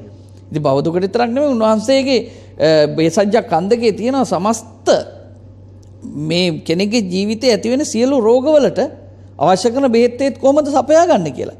එසා බුදුහාමුදුරුවන්ගේ දේශනාව ඇතුලේ ඔය සාමාන්‍ය පුද්ගලයාගේ ජීවිතේ හොඳ නරක ගැන විතරක් නෙමෙයි ස්වස්ථතාව නිරෝගීකම පවත්වා ගන්න අදාළව මම සඳහන් කළේ ශල්ලි වෛද්‍යවරයෙක් නම් නෙළුම් කොළේ වතුර උඩ තියලා යට යන්න නැතුව ඉන්න කපන්න පුළුවන් වෙන්න ඕනේ. එතකොට ඒක ඒක හසුරුවා ගැනීම තියුණු බව ඒ දේවල්. ඒ වගේම සමහර ගෙඩි වර්ග පාවිච්චි කරලා තියෙනවා මේ ගෙඩි වල ස්වරූපයම ඒ කියන්නේ ගෙඩි කියන්නේ ගස්වල හැදෙන ගෙඩි. ඒ වගේ ස්වරූපයම අපේ ශරීරයේ සමහර ඉන්ද්‍රිය වලට සමානයි. එතකොට ඒවා කපන කොටන දේව ක්‍රමවලින් තමයි ඉගෙන ගත්තේ අර දැන් අපි තුමු දැන් බෝංචි කරලක් අරගෙන ඒකේ කපලා අවශ්‍ය වෙන විදිහට ඒ ඇටේ සුද්ධ කරලා ගන්න විදිහේ නැත්තම් ඒ ඔපරේෂන් කරන ක්‍රමවේදේ. ඒවා ඒ වගේ දෙයකට සම කරලා සමාන කරලා එහෙමත් නැත්නම් ඒ වගේ දේවල් වලින් අධ්‍යයනය ලබන ක්‍රමවේද අපේ වෛද්‍ය ශාස්ත්‍රය තුල තිබ්බා. ඒ නිසා අවමහානිය වෙන විදිහට සෞඛ්‍ය ආරක්ෂා කර ගැනීම සඳහා ඒ දේවල් ඉගෙන කියාගත්තා. ඉතින් ඒත් එක්කම තමයි මලමිනි. දැන් මලමිනිය දැන් ගත්තොත් එහෙම මේ මලමිනියක ව්‍යවච්ඡේදනය කරලා ශරීර ව්‍යවච්ඡේදනය කරලා ඒ කරන සියලු දේවල් මලමිනියක් ආශ්‍රයෙන් කරගන්න පුළුවන්කම තිබ්බා. ඒ නිසා ඒ දේවල් භාවිතා කරලා යොදාගත්තා. ඒ නිසා මේ අර අවම දැන් සත්තු ඝාතනය කරලා කරන ක්‍රමයක් නෑ. ඇත්තටම සතෙක් මරන්න අවශ්‍ය වෙන්නේ නෑනේ. මැරිච්ච සතෙක්ගෙන් ගන්න පුළුවන් නම් ඒ බෙහෙත් සඳහා අවශ්‍ය කරන දේවල්. ඒ නිසා එබඳු ක්‍රමවේද පාවිච්චි කළා. ඒ ආසන ඒක ඒවා පිහිටවලා තියෙන ශිලාලේඛනවල කියනවා මෙතනින් මෙහා මේ සතෙක් මරුණොත් මේ ස්ථානයටයි ගෙනත් දෙන්න ඕනේ. එතන තමයි මේ දේවල් පරිහරණය කරලා ඒ කටයුතු සිද්ධ කරන්නේ. ඒ විතරක් නෙමෙයි දැන් ඔය අපේ සිවි ජාතකයේ වගේ තැන්වල අරන් බලන්න. දැන් ඒකේ තියෙනවනේ ඇහැ ගලවලා දෙන ඇහි පට්ටේ ගලවලා දෙන එක පට්ටේ ගලවලා දෙනවා කියලා කෙලින්ම තියෙනවනේ. ඇහි පට්ටේ කියන්නේ මොකද්ද? සිවියනේ. ඒ සිවිය ගලවලා දීලා ඇහැ පෙනීම අනිත් කෙනාට ලබා දෙන අවස්ථාව. ඒ නිසා ඔය ඇස් මසලේ දුන්නයි කියන ඇස් දුන්නයි කියන්නේ මේ බෝල ගහන්න නෙමෙයි. ඇස් පේන්න. හිස් දුන්නයි කියලා කියන්නේ මේ ෆුට්බෝල් ගහන්න නෙමෙයි. මස් දුන්නයි කියලා කියන්නේ ලේ දුන්නයි කියලා කියන්නේ දැන් සමහරු ඇහුවා දැන් අතීතේ ලේ දෙන්නේ මොකටද කියලා. බොණ්ඩද කියලා නේ ලේ රුධිර පාරවිල්ලෙන් කියලා තියෙන්නේ. ඒ රුධිරය කෙනෙකුගේ ශරීරයේ අවශ්‍යතා සඳහා. ඒ නිසා මේ අතීතයේ අපි අද ඔය කතා කරනවට වඩා හොඳ සමහරට අදටත් වඩා දියුණු ඒ වගේ වෛද්‍ය ශාස්ත්‍රයක් තියෙන්න ඇති. ඒ සන්දර්භය තුළ තමයි අපිට මේ දේවල් කතා කරන්න හෝ තේරුම් ගන්න සිද්ධ වෙන එක හඳුරන්නේ දැන් වෛද්‍ය විද්‍යාව හෝ රෝගය හෝ අවසාන ඉලක්කය වෙන්නේ අපේ ජීවිත සහ ආයුෂ පිළිබඳ කාරණේනේ. දැන් මේ ආයුෂ ගැන කතා කිරීමත් හරි වැදගත් අපේ හඳුනන මේ සාකච්ඡාව ඇතුලේ. ඇත්තටම දැන් දැන් මේ මාතෘකාවට පරිබාහිර වුණත් මේක තමයි තේරුම් ගැනීම හරි වැදගත් කියලා නායක හඳුරන්නේ. මොකක්ද මේ ආයුෂ කියලා කියන්නේ? උපරිම ආයුෂ කියන එකෙන් අදහස් කරන්නේ මොකක්ද? ආයුෂ වැඩි කරගන්න අපි කරන්න ඕන මොකක්ද? මේ දේවල් ටික අපි කොහොමද කතා කරන්නේ? ඔය දැන් ආයුෂ ගැන ගත්තයින් පස්සේ මේක හොඳ හොඳ මාතෘකාවක් මම හිතන්නේ චාමික මහත්තයා මේක හයි කියලා මම හිතුවේ නෑ මෙහෙම ප්‍රශ්නයක් මොකද ආයුෂ කියන්නේ මොකද්ද කියලා. ඒක හරි වැදගත්. ආයුෂ කියන එක හඳුන්වන්නේ මෙහෙමයි. දැන් අපි දන්නවනේ මරණයක් වුණාට පස්සේ ආයු උස්මාච විඤ්ඤාණං කියලා ආයුෂ උණුසුම විඤ්ඤාණය ශරීරයෙන් පහ වුණාට පස්සේ මරණය සිද්ධ වුණයි කියලා. එතකොට මේ ආයුෂය කියන එක හඳුනා ගන්න ඕනේ. මේ ආයුෂ කියලා දෙකක් තියෙනවා මිනිස්සෙක්ට. එක ආයුෂක් තමයි කයට අයිති ආයුෂ. අනිත් ආයුෂ තමයි මනසට නැත්තම් විඥාණයට අයිති ආයුෂ. දැන් මේක මෙන්න මේ විදිහටයි අඳුරගන්න ඕනේ. මෙතන දැන් මේ වැඩසටහන අහන අභිධර්මය දන්න ඔය අද උදවියට මේක හොඳට තේරෙනවා. දැන් බලන්න රූප ගැන විග්‍රහ කරනකොට අටවිසි රූපයක් තියෙනවනේ. මේ අටවිසි රූපවල තියෙනවා භූතප්පසාද විසයා භාවෝ හදේ මිච්ඡපි ජීවිතාහාර රූපේහි අට්ඨාරස විදන්තත පරිච්ඡේදෝ චුඤ්ඤත්ති විකාරෝ ලක්කලම් පිච්ච කියලා මේ රූප 28 පෙන්නනවා. ඒකේ ජීවිත රූපය කියලා තියෙන්නේ භූතප්පසාද විසයා ජීවිත. ජීවිත රූපය කියලා කියන්නේ අපේ කයේ වෙනත් විදිහට කියනවා නම් අපේ මේ භෞතික ශරීරයට අයිති ආයුෂක් තියෙනවා. ඒ ආයුෂය හඳුනා ගන්න තියෙන වචනේ තමයි මෙන්න මේ ජීවිත රූපය කියන එක. දැන් අපි මෙහෙම හිතමු. දැන් නෙළුම් මලක් තියෙනවා මතු වෙලා දණ්ඩෙන් උඩ. වතුරෙන් උඩට මතු වෙලා දණ්ඩ උඩ තියෙනවා. මේ නෙළුම් මල තියෙන්නේ වතුර උඩද දණ්ඩ උඩද ඔයා කියන්නකෝ ජාමික මහත්තයා. නෙළුම් මල තියෙන්නේ වතුර උඩද දණ්ඩ උඩද? අපිට පේන්නේ දණ්ඩ උඩ උනාට වතුර අයින් කරුවොත් මේක කඩා වැටෙනවා. හැබැයි වතුරයි දණ්ඩයි දෙකම තියෙනවා. දණ්ඩ උඩ තියෙනවා වගේ පෙනුනට මේක වතුර වතුරේ ශක්තියෙන් තමයි මෙහෙම තියෙන්නේ. ඒ වගේ අපේ මේ ශරීරයේ කොච්චර වෛද්‍යවරුන්ට පුළුවන් වුණත් යම් යම් විදියට ශරීරයට අවශ්‍ය කරන පෝෂණයද ශක්තියද අවයව නිසි පරිදි පවත්වා ගැනීමද ප්‍රදේශපන්දනයද මේ සියල්ල පවත්වාගෙන යන්න මේකලා ඉති ජීව ගුණයක් තියෙනවා. අර වතුර වගේ දණ්ඩ හොදට තිබ්බත් වතුර නැති වුණොත් කඩා වැටෙනවා වගේ. මේකට අයිති යන්නේ ජීවිත රූපේ නැති වෙච්ච ගමන් ඒ ශරීරේ හැර යන්න ඕනේ විඥාණයට. අනිත් එක තමයි මනසට අයිති ජීවිතේ. සබ්බ චිත්ත සාධාරණ චෛතසික චෛතසික 52 සබ්බ චිත්ත සාධාරණ චෛතසික වල බලන්න පස්ස වේදනා සංඥා චේතනා ඒකග්ගතා ජීවිතින්ද්‍රිය මනසිකාර මේ හතෙන් එකක් නේද ජීවිතින්ද්‍රිය කියන්නේ. ඒකට කියන්නේ ජීවිතින්ද්‍රිය චෛතසිකේ. එතකොට අපේ මනසට අයිති ආයුෂ තමයි ඒක. එතකොට කයේ ආයුෂ තමයි රූප ජීවිතින්ද්‍රිය, සිතේ ආයුෂ තමයි චෛතසික ජීවිතින්ද්‍රිය. මේ දෙකෙන් කෝක බෙදුනත් ජීවිතින්ද්‍රිය සුපච්ඡේදෝ මච්චු මරණං කාලකිරියා. ජීවිතින්ද්‍රිය සුපච්ඡේදෝ ජීවිතින්ද්‍රිය සිඳෙනවා මච්චු මරණය කාලකිරියා කාලක්‍රියාව සිද්ධ වෙනවා. ඒ නිසා මේක තමයි ආයුෂ කියලා කියන්නේ. එතකොට පුද්ගලයෙක්ගේ ආයුෂ ගැන ගත්තාම දැන් බුදු කෙනෙක් පහළ වෙන යුගය ගන්නේ සාමාන්‍යයෙන් අවුරුදු 100ට වඩා ආයුෂ වැඩි අවුරුදු ලක්ෂයට වඩා ආයුෂ අඩු කාලේ තමයි බුදු කෙනෙක් පහළ වෙන්නේ. ඒකට හේතුව තමයි අවුරුදු 100ට වඩා අඩු නම් මිනිසුන්ගේ අධර්ම බහුලයි ජීවන අරගලයක ජීවත් වෙන්නේ බොහොම වහවහ ජීවිතේ සියල්ල සිද්ධ වෙනව නෑ. ඉපදෙනවා මේ මේ ඉගෙන ගන්න ඕනේ ඊට පස්සේ කසාද බඳින්න ඕනේ ළමයි හදන්න ඕනේ මැරෙන්න ලැස්ති වෙන්න. නේ මේ ටික ඔක්කොම තියෙනවනේ. ඒ නිසා හරි ඉක්මන්. එතකොට මේ මිනිසුන්ගේ ජීවිතවල විවේක බුද්ධිය නෑ. අවුරුදු 100ට වඩා අඩු නම් හැබැයි අවුරුදු ලක්ෂයට වඩා වැඩි නම් ජාති ජරා ව්‍යාධි මරණ පෙන්වන්න බෑ මොකද ඒ තරම් දුරයි. අවබෝධයට එන්නේ ලෙඩ වෙනවයි කියන එක වයසට යනවයි කියන එක ජරාව විශේෂයෙන් පේන්නේ නැහැ. ඒ නිසා අවුරුදු ලක්ෂයට අඩු අවුරුදු 100ට වැඩි වැඩි ආයුෂක් තියෙද්දි තමයි බුදු කෙනෙක් පහළ වෙන්නේ. අපේ බුදුහාමුදුරුවෝ පහළ වෙන යුගයේ උන්වහන්සේම දේශනා කළා තියෙනවා අපමිදම් බික්කවේ මනුස්සානං ආයු මහණෙනි මිනිසුන්ගේ ආයුෂ හරි කෙටි කියන තැන ආයුෂ කියලා කියන්නේ යෝ චිරංජීවති වස්ස සතන්වා අප්පන්වා බියෝ. යෝ යෝ දීගමායුම් පාලේති. යමෙක් දීර්ඝායුෂ විඳිනවා නම් වස්ස සතන් අවුරුදු 100ක් අප්පන්වා ටිකක් අඩු වෙයි බිහියොට් ටිකක් වැඩි වෙයි. ඒ කියන්නේ සාමාන්‍යයෙන් තිබිලා තියෙන්නේ 100 රේන්ජ් එකනේ.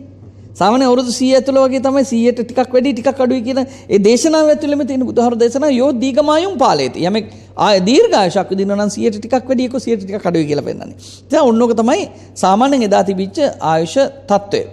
එතකොට දීර්ඝායුෂ ලැබීම සම්බන්ධයෙන් බුදුහාමුදුරු දේශනා කරන අර මුලින් කිව්වා වගේම සප්පායකාරී ගැළපෙන දේවල් කරන්න සප්පායේ මත්තං ජානාති ගැළපෙන දේහි ප්‍රමාණ දරගන්න පරිණත බෝජි දිරවන්න එඩ ඉර යල්ලකණ්ඩ අනිත් එක තමයි බ්‍රහ්මචාරී. බ්‍රහ්මචාරී වෙන්න. අකාලචාරී නොකල්හි හැසිරෙන්න එපා.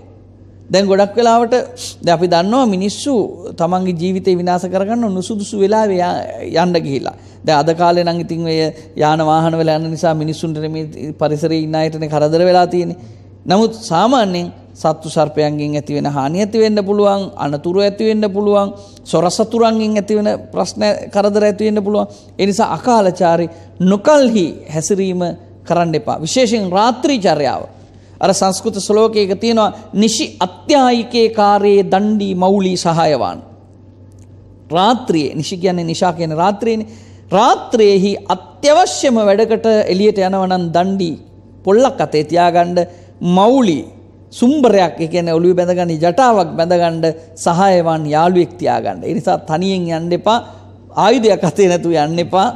ඒ වගේම තමන්ට සෞඛ්‍ය රැකගන්න මෞලිය කියලා කියන්නේ තොප්පියක් දාගෙනවත් අඩු ගානේ යන්න කියලා. බලන්න ආරක්ෂාව තියාගන්න ඕනේ, රැකවරණේ තියාගන්න ඕනේ, සෞඛ්‍ය රැක ගන්න ඕනේ. ඔක්කොමත් එක තමයි මේ ගමන යන්න කියලා කිව්වේ. නමුත් අද ඉතින් මිනිස්සු ඒවා ගොඩක් වෙනස් කරගෙන සමස්ත මේ ලෝකේ දැන් සාමාන්‍ය මිනිහා කියලා කියන්නේ දිවා දවල් කාලේ යන කෙනෙක්නේ. දැන් මිනිහා නිසාචාරීත් වෙලා. ඒ නිසා මිනිහා දැන් දවල්ටත් යනවා රැයටත් යනවා. ඒ නිසා මුළු පරිසරයේම තුලිත තුලිත භාවයේ සමතුලනය වෙනස් කරගෙන. සාමාන්‍යයෙන් ලෝකේ කුරුල්ලෝ රැයට ගිය රැයට ගිල්ලෙන කුරුල්ලෝ රැයට ගිල්ලෙනවා. වවුලෝ බස්සෝ බක මූණෝ උලොම ඔක්කොම එහෙමනේ. දවල්ට යන කුරුල්ලෝ ඉන්නවනේ ගිරව් මයින්ෝ කාකුන් දවල්ට ඉන්නවා. සත්තු ගත්තත් උරගයෝ දවල්ට යන උරගයෝ වෙනම යනවා රැයට යන උරගයෝ වෙනම යනවා. දවල්ට ඇවිදින සිව්පාව වෙනම ඇවිදිනවා රැයට ඇවිදින සිව්පාව වෙනම ඇවිදිනවා. හැබැයි මිනිහ විතරක් දවල්ට රැයටයි දෙකටම යන්න ගත්තා. ඒ කියන්නේ මේ අර අර මුලින් අහපු ප්‍රශ්නේ තමයි. මොකද්ද? අතෘප්තිකර බව. කිසි මෙහෙකින් සෑහීමටපත් වෙන්නේ නැහැ. දවල් කාලේ මදි රැයත් ඕනේ. ඒ රැයත් මදි දැන්. දැන් කොහොමද ඊට පස්සේ මොකද කරන්න කියලා මිනිස්සු සමහරට කල්පනා කරයි. ඒ නිසා ඒ තරම් මිනිස්සු මේ ලෝකේ තමන්ගේ අතට අරගෙන තමන්ගේ පාලනයට අරගෙන නතු කරගෙන තමන්ම විනාශ වෙමින් යන අවස්ථාවක්. ඒ නිසා ආයු පිරිහෙන්න අධික බලාපොරොත්තු ඇතිකම, ඒ වගේම අකාල චාරී බව, විශේෂයෙන් අබ්‍රහ්මචාරී. දැන් බ්‍රහ්මචර්යාව තිබුණා දැන් අපි ගත්තොත් ඒඩ්ස් වගේ රෝගයක් ගත්තොත් එහෙම මේ ඒඩ්ස් වගේ රෝග ලෝකයේ පුරා HIV HIV නේ HIV ආසාදනේ ආසාදනේ දැන් මේක ලෝකයේ පුරා ගිහිලා තියෙන්නේ මොකක් නිසාද? මේක ලිංගික චර්යාව සමග බැඳිලා තියෙන එක. ඒ නිසා තමන්ගේ බිරිඳගෙන් ස්වාමියගෙන් සන්තෝෂ වෙලා ඉන්නවනම් මේ ප්‍රශ්නේ ඇති වෙන්නේ නැහැ. ඒ හරහා අද ලෝකෙ කොච්චර දුක් විඳිනවද? සමහරට අසරණ දරුවෝ තමන්ගේ මව්පියන්ගේ වැරදි නිසා උපතින් HIV ආසාදිතයන් බවට පත් වෙලා මේ ලෝකෙ උපදිනවා. ඒ නිසා මේක හුදෙක් පුද්ගලයා චර්යාව වරද්දන කෙනාට විතරක් නෙමේ මුළු මානව සමාජයටම හානියක් බවට පත් වෙලා තියෙනවා. ඒ නිසා බුදුදහම මේ සම්බන්ධයෙන් කතා කරන්නේ බ්‍රහ්මචර්යාව නියැලෙන්න. බ්‍රහ්මචර්යාව නියැලෙන කෙනාට මේ ඔය සඳහන් කරපු සමහර බොහෝ රෝග වැළඳෙන්නේ නැහැ. අපි හැමදෙන අපි අපි ගිහි ජීවිතවල සෞඛ්‍ය ගැන බොහෝ දේවල් කතා කරමු. මෙන්න මේ කාරණත් පොඩ්ඩක් විමසන්නම් අපේ හැමදෙනේ මේ අපේ තේරුම් ගැනීම සහ දැන ගැනීම පිණිස අපි අහලා තියෙනවා භික්ෂූත්වය නැත්නම් මහාන කරවීම සඳහා කිසියම් සීමාවක් සෞඛ්‍ය තුල එහෙම කිසියම් නීති රීති මාලාවක් පනවලා තියෙනවා වගේ අදහසක්. ඒ ඒක ඇත්තද මොකක්ද ඒ සඳහා හේතුව? එතකොට ඕනම කෙනෙකුට භික්ෂුත්වය ලබා ගන්න බැරිද අපේ හැඳුරනේ? ඒකේ මෙහෙම කාරණාවක් තියෙනවා. දැන් මේකෙදි කියන්නේ ඔය ලස්සන සිද්ධියක් එක මේක වෙන්නේ බුදුහාමුදුරුවෝ වැඩ හිටිය කාලේ ජීවක වෛද්‍යවරයා හිටියනේ. ජීවක වෛද්‍යවරයා වෙදකම් කරන්නේ බුදුරජාණන් වහන්සේට භික්ෂුන් වහන්සේලාට රජුරවන්ට එච්චරයි. මේ රාජකීය වෛද්‍යවරයානේ. හැබැයි ඒ කාලේ බොහෝ දැඩි ලෙස මේක තියෙන මගදේසු මගදේ තුල මේ මොනවද කුට්ටන් ගණ්ඩෝ කිලාසෝ සෝසෝ අපමාරෝ කුෂ්ඨ gadu කිලාස අපස්මාර රෝගය මේ දේවල් දැඩි ලෙස පැතිරෙන්න ගත්තා. ඊට පස්සේ මේ රෝගීන් ගිහිල්ලා වෛද්‍යවරයා ළඟට ගිහිල්ලා කියනවා වෛද්‍යතුමනි අපිටත් බේත් කරන්න.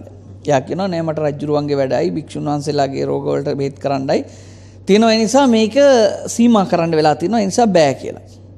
ඉතින් මෙහෙම කිව්වහම මෙය යනවා. මේ අතර කෙනෙක් කල්පනා කලා ඉතින් භික්ෂුන් වහන්සේලාට ප්‍රතිකාර කරනවන. එනි සමගත කරේ මේ පංචාබාධවලින් ආබාධ වෙච්ච භික්ෂුව ගිහිය ගිහිල පන්සල්ට කියලා හාමුදුරන්ක ස්වාමීනිම මහන කරන්න.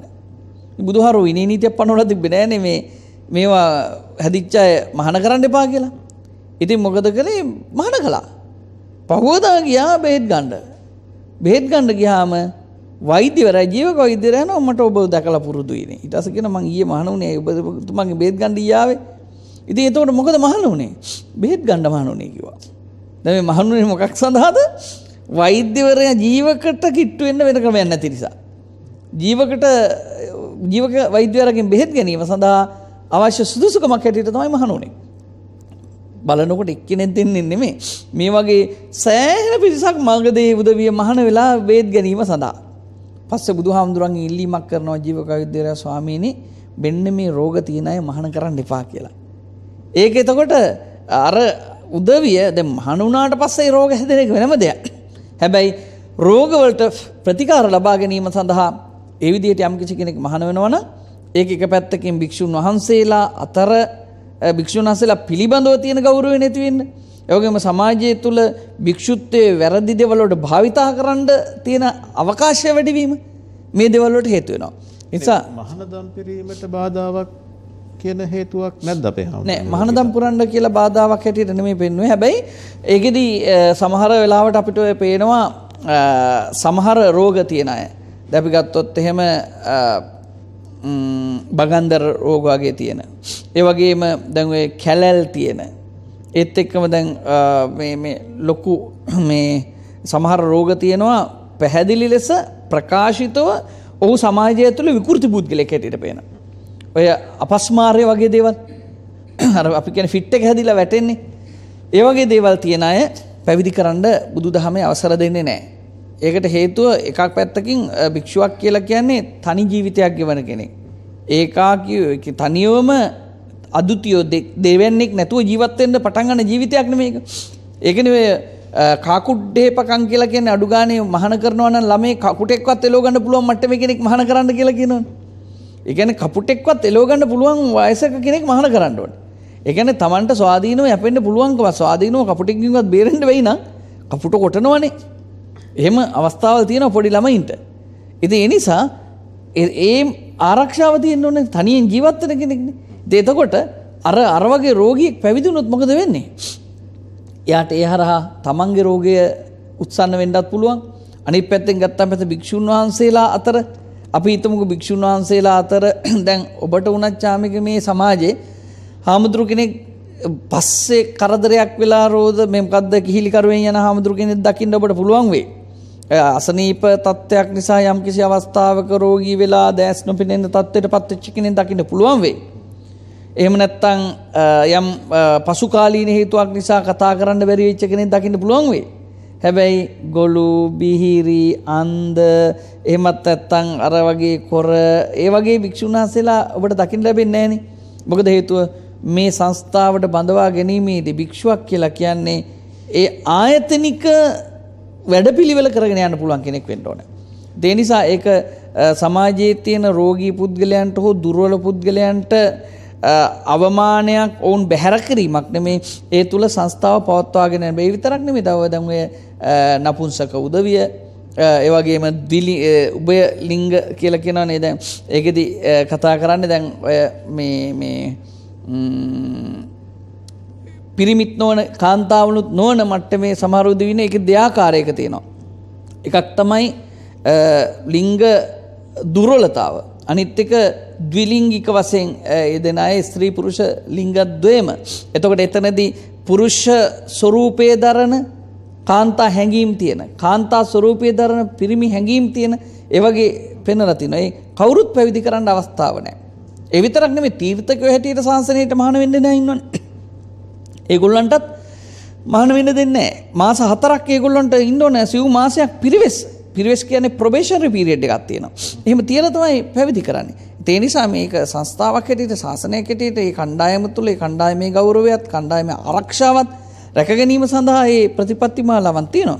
හැබැයි අර රෝ- අර රෝගීන් මහන කරන්න එපා කියපු ප්‍රධාන හේතුව බවට පත් වනේ අර කියපු ජීවක වෛද්‍යවරයා මුහුණ දුන් ගැටලුව. අපේ හාමුදුරනේ අපි අවසන් මිනිත්තු කිහිපයට අපේ සාකච්ඡාව තුළ එළඹිලා ඉන්නේ විශේෂයෙන් මේ පරිසරයත් එක්ක ජීවත් වීම ස්වභාවික సౌందර්යයත් එක්ක ජීවත් වීම ඒට හානි නොකර ජීවත් වීම මේ නිරෝගීතාවය ආරක්ෂා කරගන්න අපිට වෙනම වාසියක් වෙනම හේතුවක් බවට පත් වෙනවද අපේ හාමුදුරනේ ඕ දැන් පැහැදිලිව දැන් හිතන්න දැන් බුදුහාමුදුරුවෝ භික්ෂුන් වහන්සේලාට දේශනා කරනවා අ, ගලාගෙන යන ජලයට කෙල ගහන්න එපා. ඊට පස්සේ තනකොළකට කෙල ගහන්න එපා. මතක ඇති අර ගිරිබත් පාත්තරයේ ගෙනාපු වෙලාවේ කවුද කසීවාරද්වාජ බුදුහාරු දේශනා කරන්නේ අප්පානකේවා උදකේ ඕපිලාපේත් අපහරිතේවා චඩ්ඩේත තනකොළ නැති තැනකට දාන්න නැත්තම් වත්- සතුන් නැති ජලයකට දාන්න. එතවට ඒත් තරම් ජීවහිතවාදී ආකල්පයක් එතන පැවතුනා. ඊළඟට අ, ජලයේ පවිත්‍රතාව. දැන් භික්‍ෂුන් වහන්සේලාට නියම කරනවා තමන් වහන්සේලා දැන් වැසිකිලියක ගත්තොත් වැසිකිලිය භාජන දෙකක් තියෙනවා. එකක් තමයි භාජ වතුර පුරවලා තියෙන භාජනය අනිත් එක තමයි වතුර භාවිතා කරන භාජනය. අපි හිතමු දැන් පුරවලා තියෙන එකේ නිතරම වතුර පිරීලා තියෙනවා භාවිතා කරන භාජනය කොයිලකවත් වතුර දාලා තියෙන්නත් බෑ.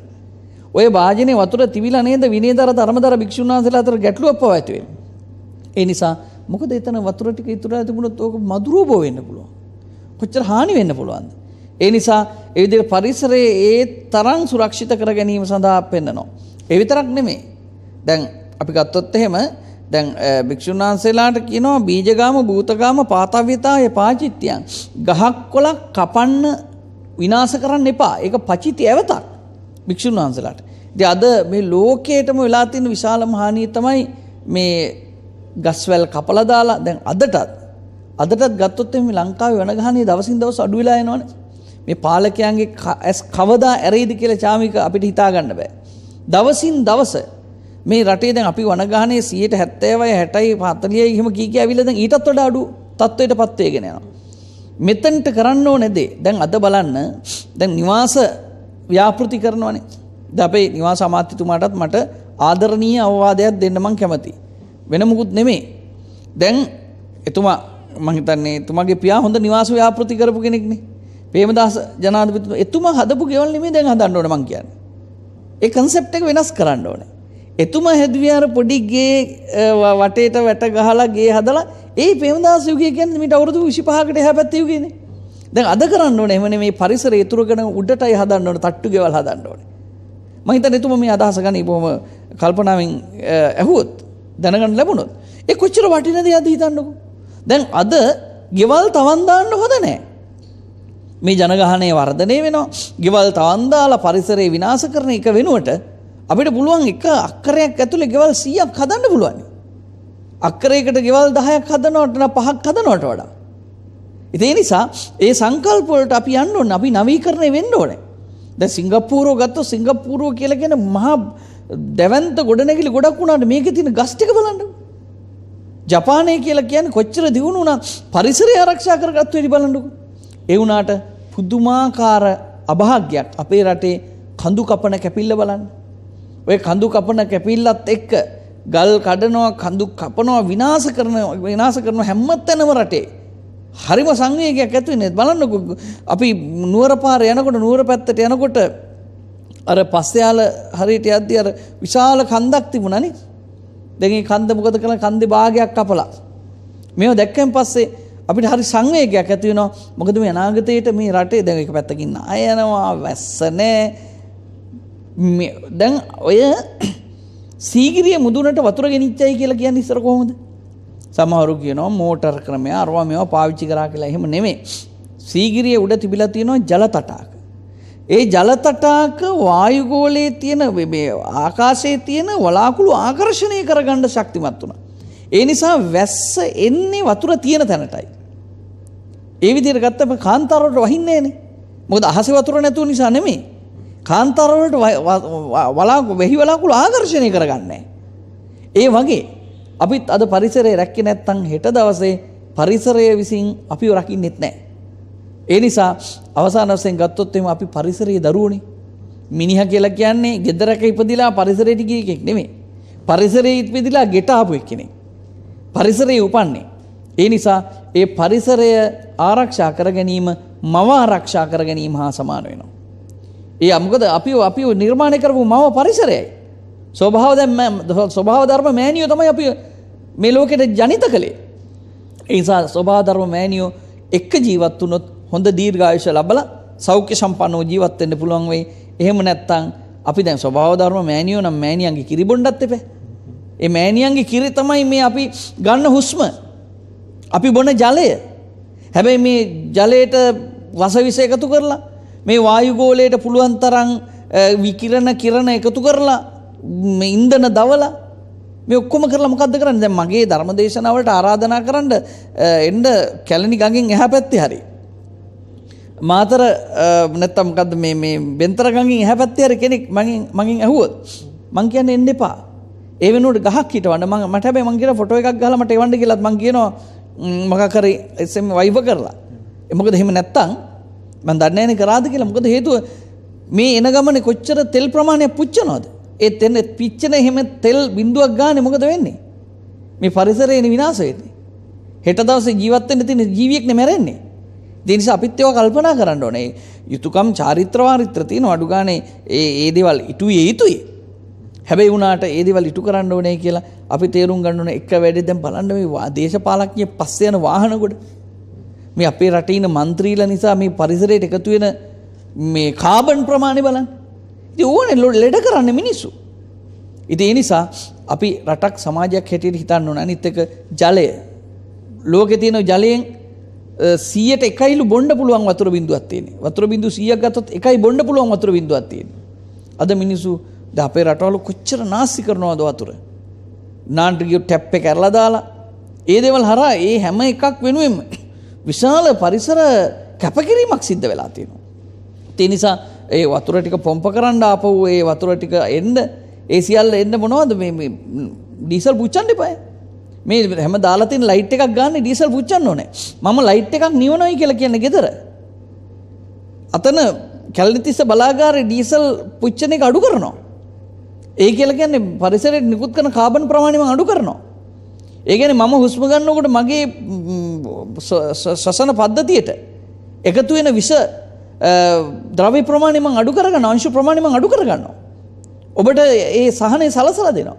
ඒ නිසා ඒ ජීව හිතවාදී ආකල්පයත් එක්ක පරිසරය රැකගෙන ශබ්ද ශබ්ද දූෂණේ නැතුව පරිසර දූෂණේ නැතුව ජල දූෂණේ නැතුව වායු දූෂණේ නැතුව මේ පරිසරය පවත්ව ගන්න පුළුවන් වුණොත් දීර්ඝායුෂ නිරෝගී සුව සුව සහනෙමි සියල්ල එකට එක පෙළට සකස් කරගන්න පුළුවන් එහෙම නැතුව මේ ශාරීර සෞඛ්‍යයයි පරිසරයයි කියන්නේ වියුක්ත එකක් නෙමෙයි එකට සම්බන්ධ එකක්.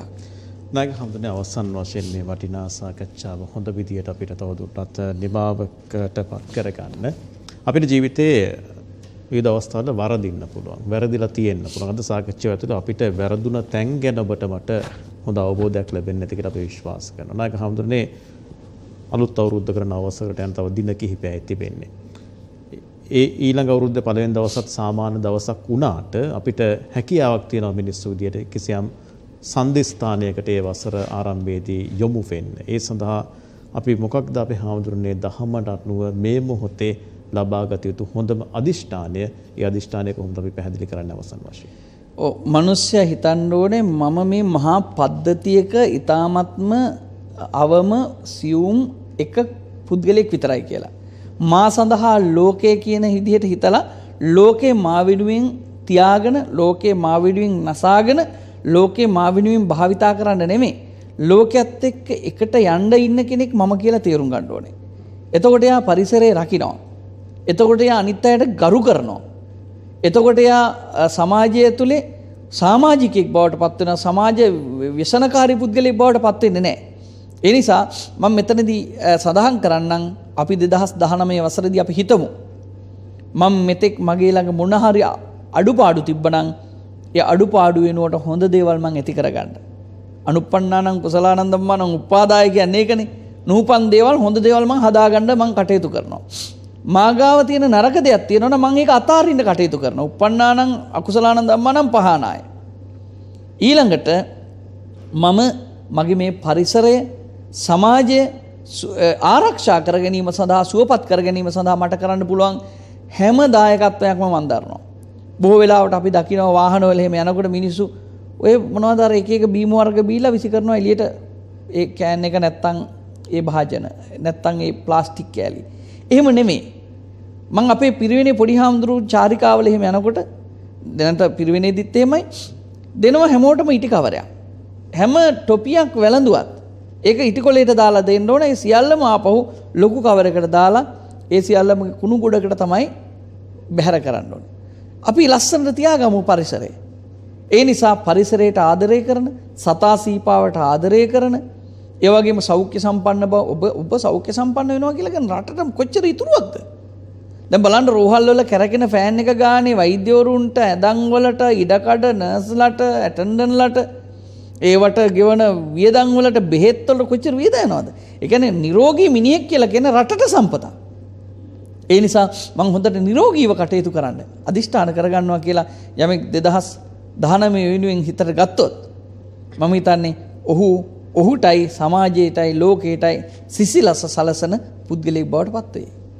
එම අපේ හාමුදුරනේ එහෙමනම් පින්වතුනි ඒ ඒ අදිෂ්ඨානෙන් අද දවසට අපි සමුගන්නවා නැන පහනින් මේ වටිනා දහම් කරුණු මේ වටිනා සමාජීය කරුණු අපිට කියලා දුන්නත් නායක හාමුදුරන වහන්සේට ගොඩක් පින් ඒ වගේම නිදුක් නිරෝගීතාවය තිර ජීවන දීර්ඝාෂ අයි බොහොමත්ම පින් සිතින් ප්‍රාර්ථනා කරනවා මේ හාමුදුරනේ. හැම දිනාටම තුනුරුවන්ගේ සරණින් සියලු යහපත අභිවෘද්ධිය සැලසේවා විශේෂයෙන්ම දළදා වහන්සේගේ ආශිර්වාදයෙන් විජයශ්‍රී ජයශ්‍රී මහ බෝධින් වහන්සේගේ ආශිර්වාදයෙන් අනන්ත බුද්ධ ධම්ම සංඝ කියන තෙරුවන්ගේ පිහිටින් සියලු දෙනාගේ සියලු බලාපොරොත්තු යහපත් බලාපොරොත්තු අරමුණු ඉටු කරගන්න ශක්තිය ධෛර්යය ලැබෙන එවැගේම විශේෂයෙන් මේ දවස්වල අපිට පේනවා උතුරු පළාතේ විශාල ජල ගැල්මකට ලක් වෙලා කනගා කරදරයට පත් වෙලා ඉන්නවා. මේ දවස්වල පැපිලියාන සුනේත්‍රා මහදේවි පිරිවෙන හැටියට අපිත් ඒ සම්බන්ධයෙන් ඒ අයට උදව්පකාර කරන්න කටයුතු කරන ගම්මාන කීපයක් අරගෙන ඒ නිසා කැමති අයට ඉන්නවා නම් මේ දවස් කීපය ඇතුළත සුනේත්‍රා මහදේව පිරිවෙනෙට ඒ විශේෂ වියලි සලාක එවගේම ඇඳුම් සනීපාරක්ෂක ඇඳුම් ඒ දේවල් ලබා දීම සඳහා කටයුතු කරනවා. ඒවා අපි සිද්ධ කළ යුතුයි. මොකද උතුරේ ජනතාව කියලා කියන අපේම සහෝදර ජනතාවක් ඔවුන් ආරක්ෂා කරගන්න ඔවුන්ට කරදරයක් වුණෙන් පස්සේ ඔවුන් වෙනුවෙන් පෙනීන්න දකුණේ උදවිය හැටියට අපි හැම මොහොතේම කටයුතු කළ යුතුයි. ඒ නිසා අපි ඔවුන් වෙනුවෙන් ඒ කටයුතු සිද්ධ කරලා අනා මේ රට මේ රටේ ඒ කිය භාවය ආරක්ෂා කරගෙන රටේ අනාගත යහපත ආරක්ෂා කරගන්න අපි හැමෝම ලංකාවේ දරුව හැටියට ජාති බේද ආගම් බේද කුල බේද වලින් නෙමෙයි අපි සියලු දෙනාටම එකඟ වෙන්න පුළුවන් යහපත් දේවල් තියෙනවා. අපි රටක් හැටියට අපි මනුෂ්‍යත්වයේ දහමින් බැඳිලා. අපි රටක් හැටියට ශ්‍රී ලාංකිකයෝ හැටියට අපේ අභිමානයේ දියුණු කරගන්න අපි කටයුතු කරමු පහුගිය කාලේ ඇතිවෙච්ච යම් යම් කැලලි තියෙනවා නම් හිතවල කැලලි වෙන්න පුළුවන්. එහෙමත් නැත්නම් සම සමහර දේවල් අපි ඇතිවෙච්ච යම් යම් සිද්ධිත් එක්ක ඇතිවෙච්ච කැලලි වෙන්න පුළුවන්. ඒ දේවල් සියල්ල දුරු කරගෙන අපි රටක් හැටියට ඉදිරියට යන්න අදිෂ්ඨාන පූර්වකව කටයුතු කරමු කියන එක අවසාන වශයෙන් මම සිහිපත් කරනවා. එම අපේ හාමුදුරනේ එහෙම පින්වතුනි වටිනා ප්‍රාර්ථනයේ වටිනා අදිෂ්ඨානය සමගින් අද දවසට අපි සමුගන්නවා නැන පහනින්? අද වැඩසටහන කාට හරි බලන්න නොහැකි වුණා නම් ඔබේ හිතොතුන්ද කියන්න ලබන බ්‍රහස්පතින්දා හරියටම උදේ 10ට තියෙන රූපාන ඔස්සේ අද නැන පහනත් විකා නැවත විකාශනය වෙන බව ඒ සියලු මතක් කිරීම එක්ක අදට අපි සමුගන්නවා නැන පහනෙන්? වෙනත වගේම සමුගෙන යන මොහොතේ අපේ ප්‍රාර්ථනය හැමෝටම හැම මොහොතෙම තුනුරුවන් සරණ